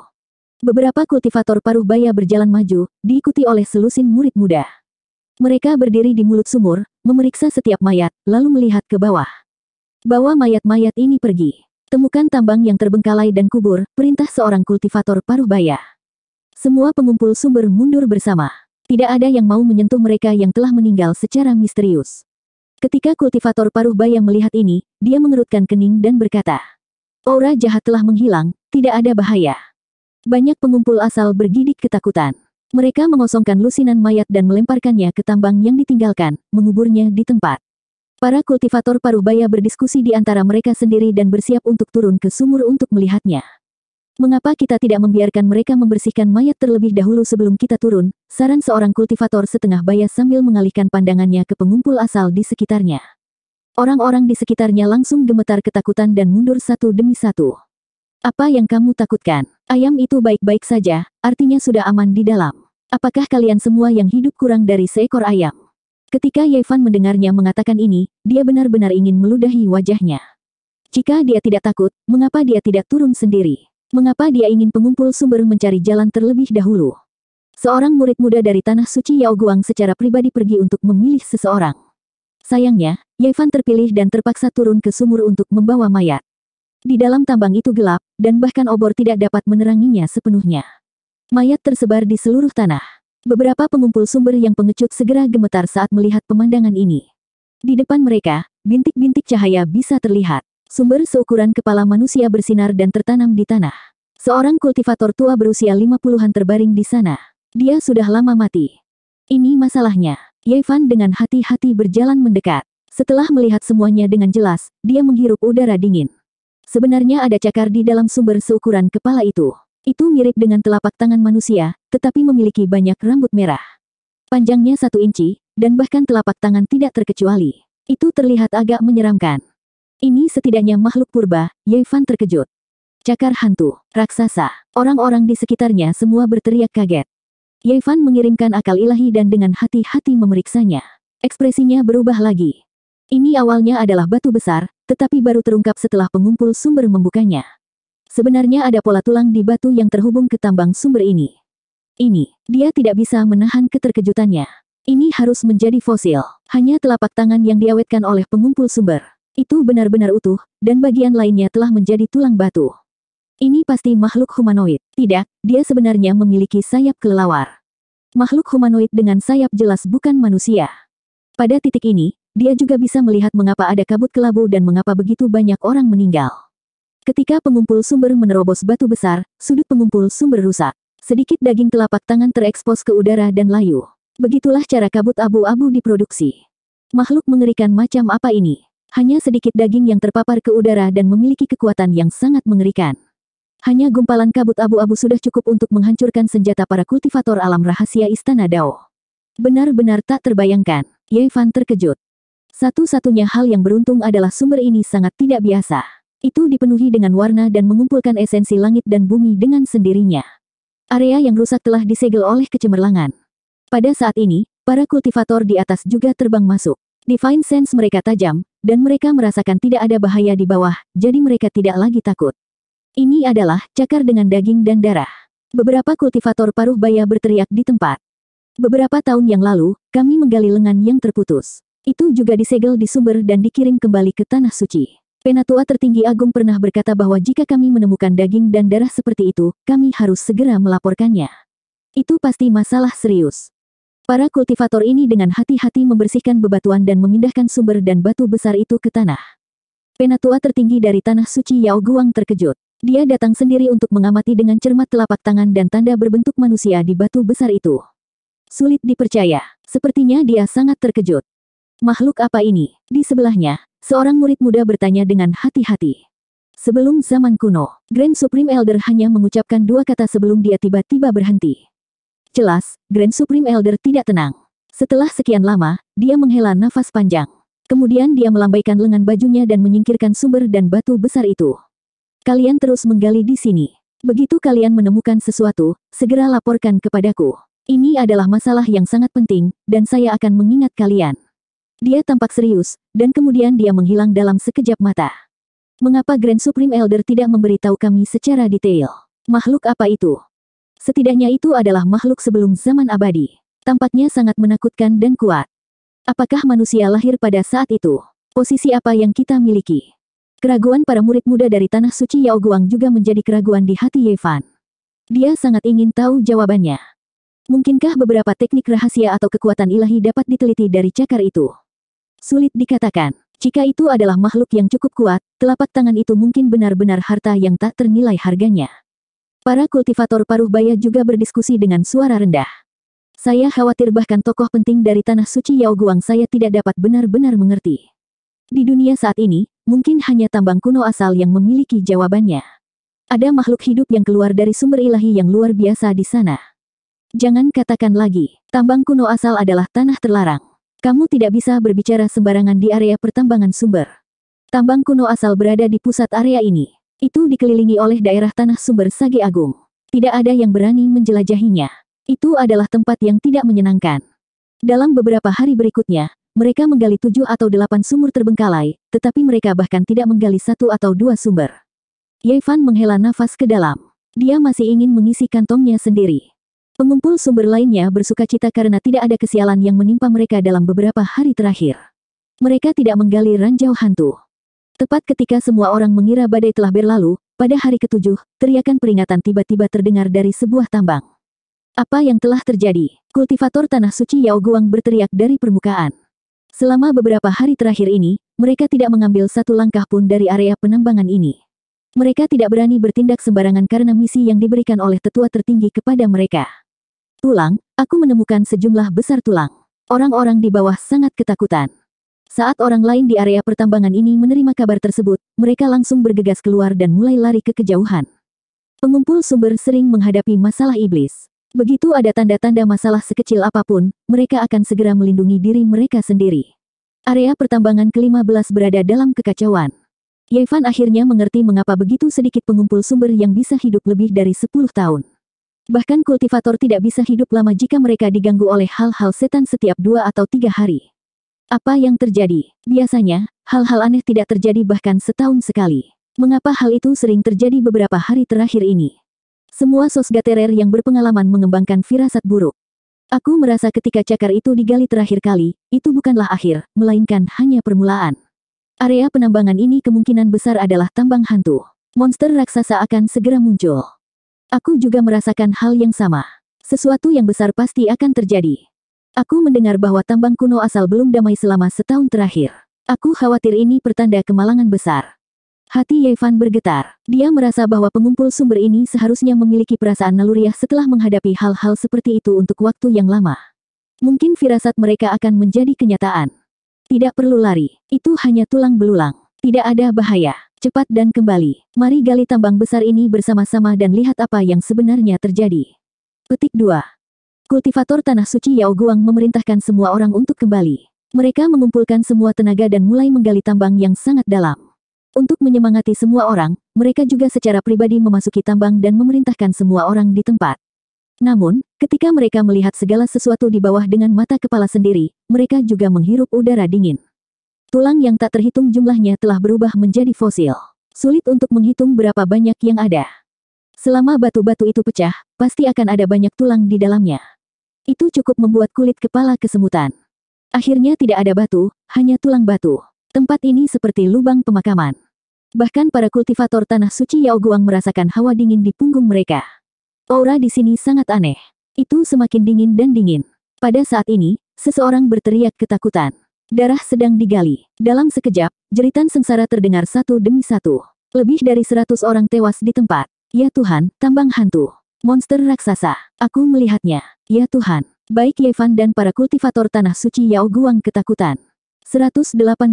Itu adalah tambang sumber yang sangat besar. Ribuan orang sedang menggali di dalam, tapi itu masih sangat luas. Jeritan ketakutan terdengar dan menyebar sangat jauh. Para penambang sumber berlari menuju pintu keluar seolah-olah mereka sudah gila.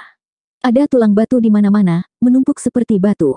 Orang-orang terus jatuh, orang-orang diperas dan diinjak-injak. Di bagian terdalam tambang, kabut berdarah melayang. Siapa pun yang menyentuhnya menjerit dan langsung berubah menjadi genangan darah, sekarat dengan kematian yang kejam. Para kultivator tanah suci Yao Guang semuanya mengambil tindakan. Mereka mengeluarkan senjata atau menggunakan teknik rahasia untuk memblokir kabut dingin. Namun, baik senjata maupun teknik rahasia tidak dapat menghentikan kabut berdarah itu. Itu sangat korosif. Dalam sekejap mata, lebih dari selusin senjata dilebur.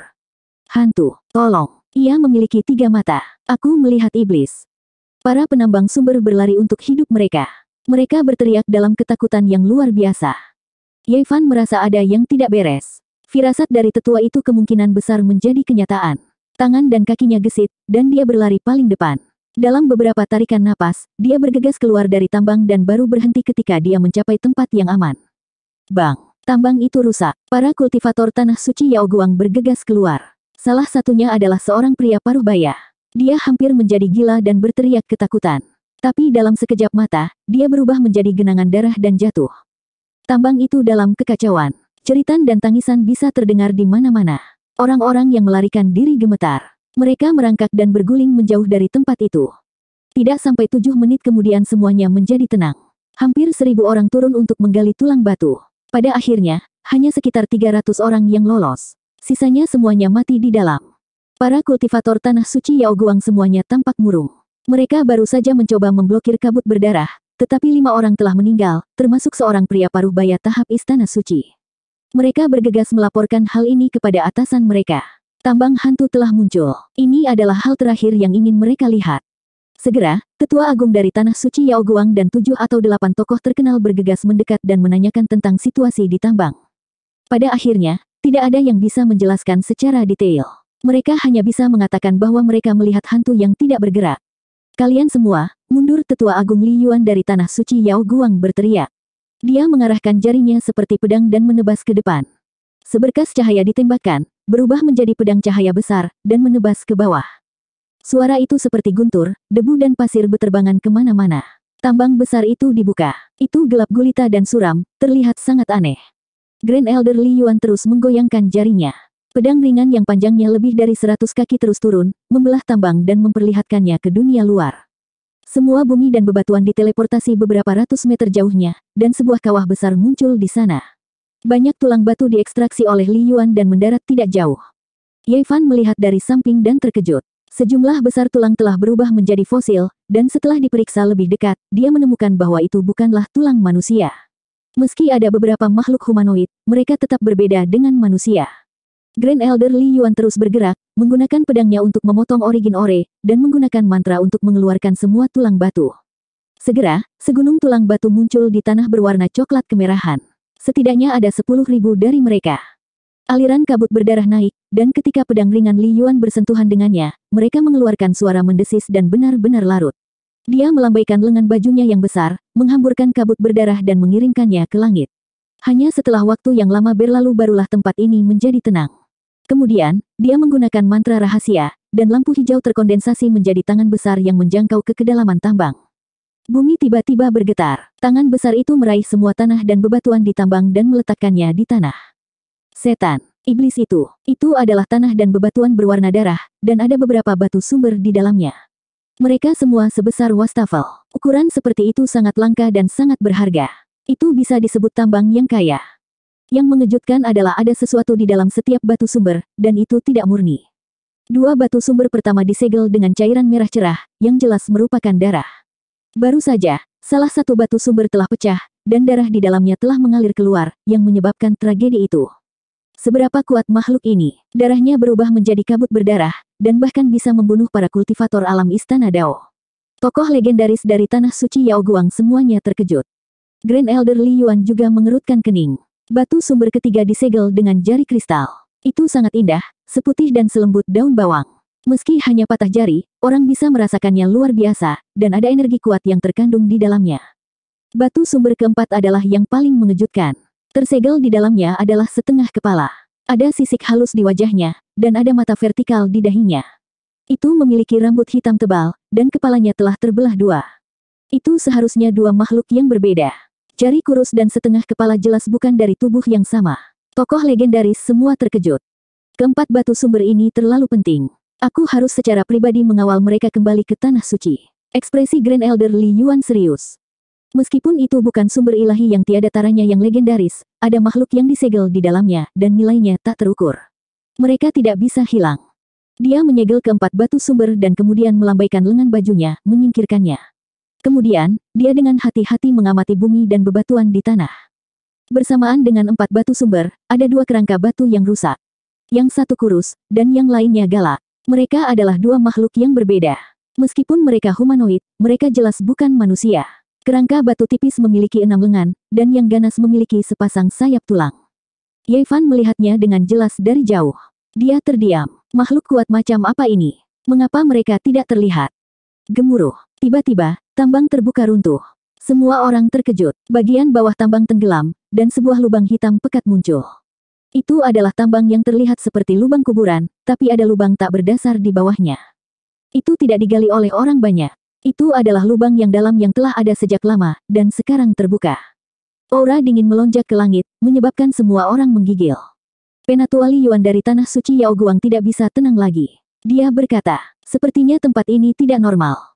Dia meminta semua orang untuk mundur dan secara pribadi mengambil tindakan. Dia menggunakan kesadaran ilahi untuk mengamati.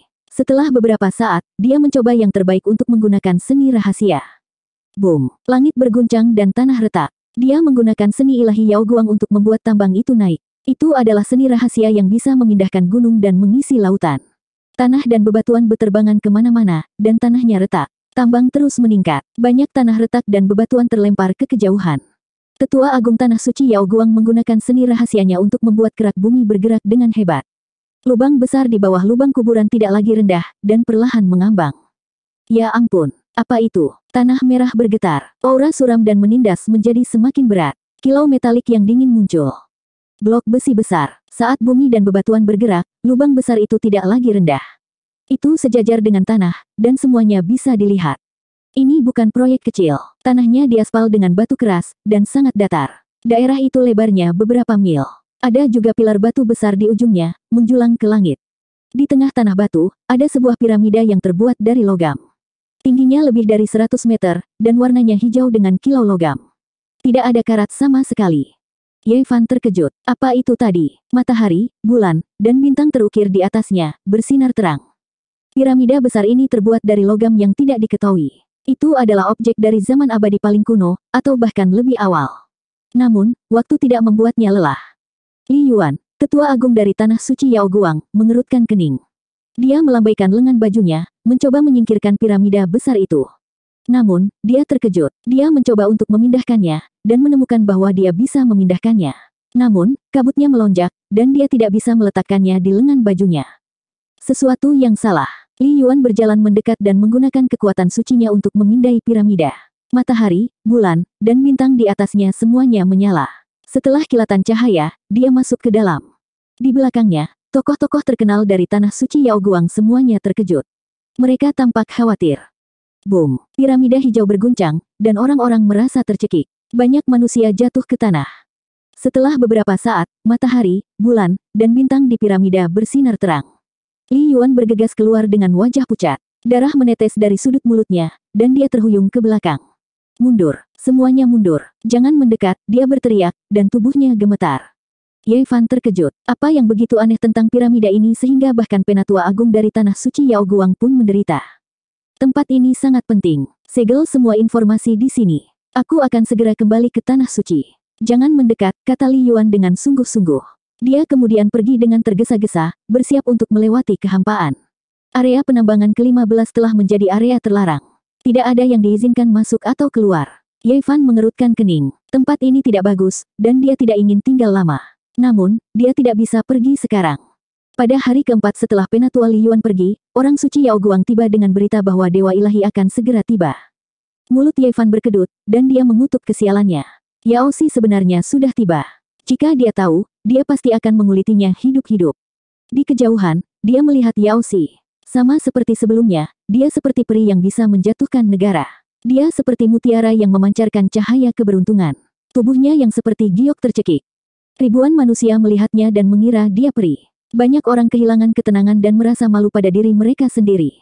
Yevan bersembunyi di antara ribuan manusia, jadi dia tidak khawatir dikenali. Dia melengkungkan bibirnya. Yang disebut beraperi masih ada di pelukannya. Jika rahasia ini terbongkar, Tanah Sage Agung pasti akan terkejut. Jangan membocorkan informasi apa pun. Tutup area penambangan ke-15. Tidak ada yang diizinkan masuk atau keluar. Suara Yao Guang saintes seperti suara alam. Namun, pada saat ini, orang suci Yao Guang tiba-tiba berhenti berbicara. Ekspresinya kosong, dan dia tampak sangat terkejut. Jantung Ye Fan berdetak kencang. Mungkinkah pihak lain telah menemukannya? Itu tidak mungkin. Pada saat ini, kultivator lain dari tanah suci Yao Guang juga berteriak kaget. Kamu, siapa kamu? Bagaimana kamu bisa masuk? Yevan berbalik dan melihat ke piramida. Cahaya Cian samar muncul. Di depan menara besi Cian, seorang wanita tua muncul entah dari mana. Dia tidak bersuara. Tidak ada yang tahu bagaimana dia sampai di sana. Seolah-olah dia muncul begitu saja. Dia melihat sekeliling piramida dan menggumamkan sesuatu. Area penambangan ke-15 adalah tanah coklat kemerahan yang luas. Itu sangat luas. Jika orang luar menerobos masuk, dia akan segera menyadarinya. Namun, orang banyak tidak menyadarinya sama sekali sebelum ini. Yevan sangat terkejut. Dia berpikir, itu dia. Dia tidak menyangka akan melihat wanita tua ini lagi di wilayah utara. Bertahun-tahun yang lalu, ketika dia bertemu Old Crazy untuk pertama kalinya di luar area terlarang di zaman kuno jauh, wanita tua ini muncul. Melalui gumamannya, dia tahu bahwa Old Crazy berasal dari 6000 tahun yang lalu. Dia dari generasi yang sama dengan Old Crazy. Aku tidak percaya dia ada di sini. Yevan terkejut.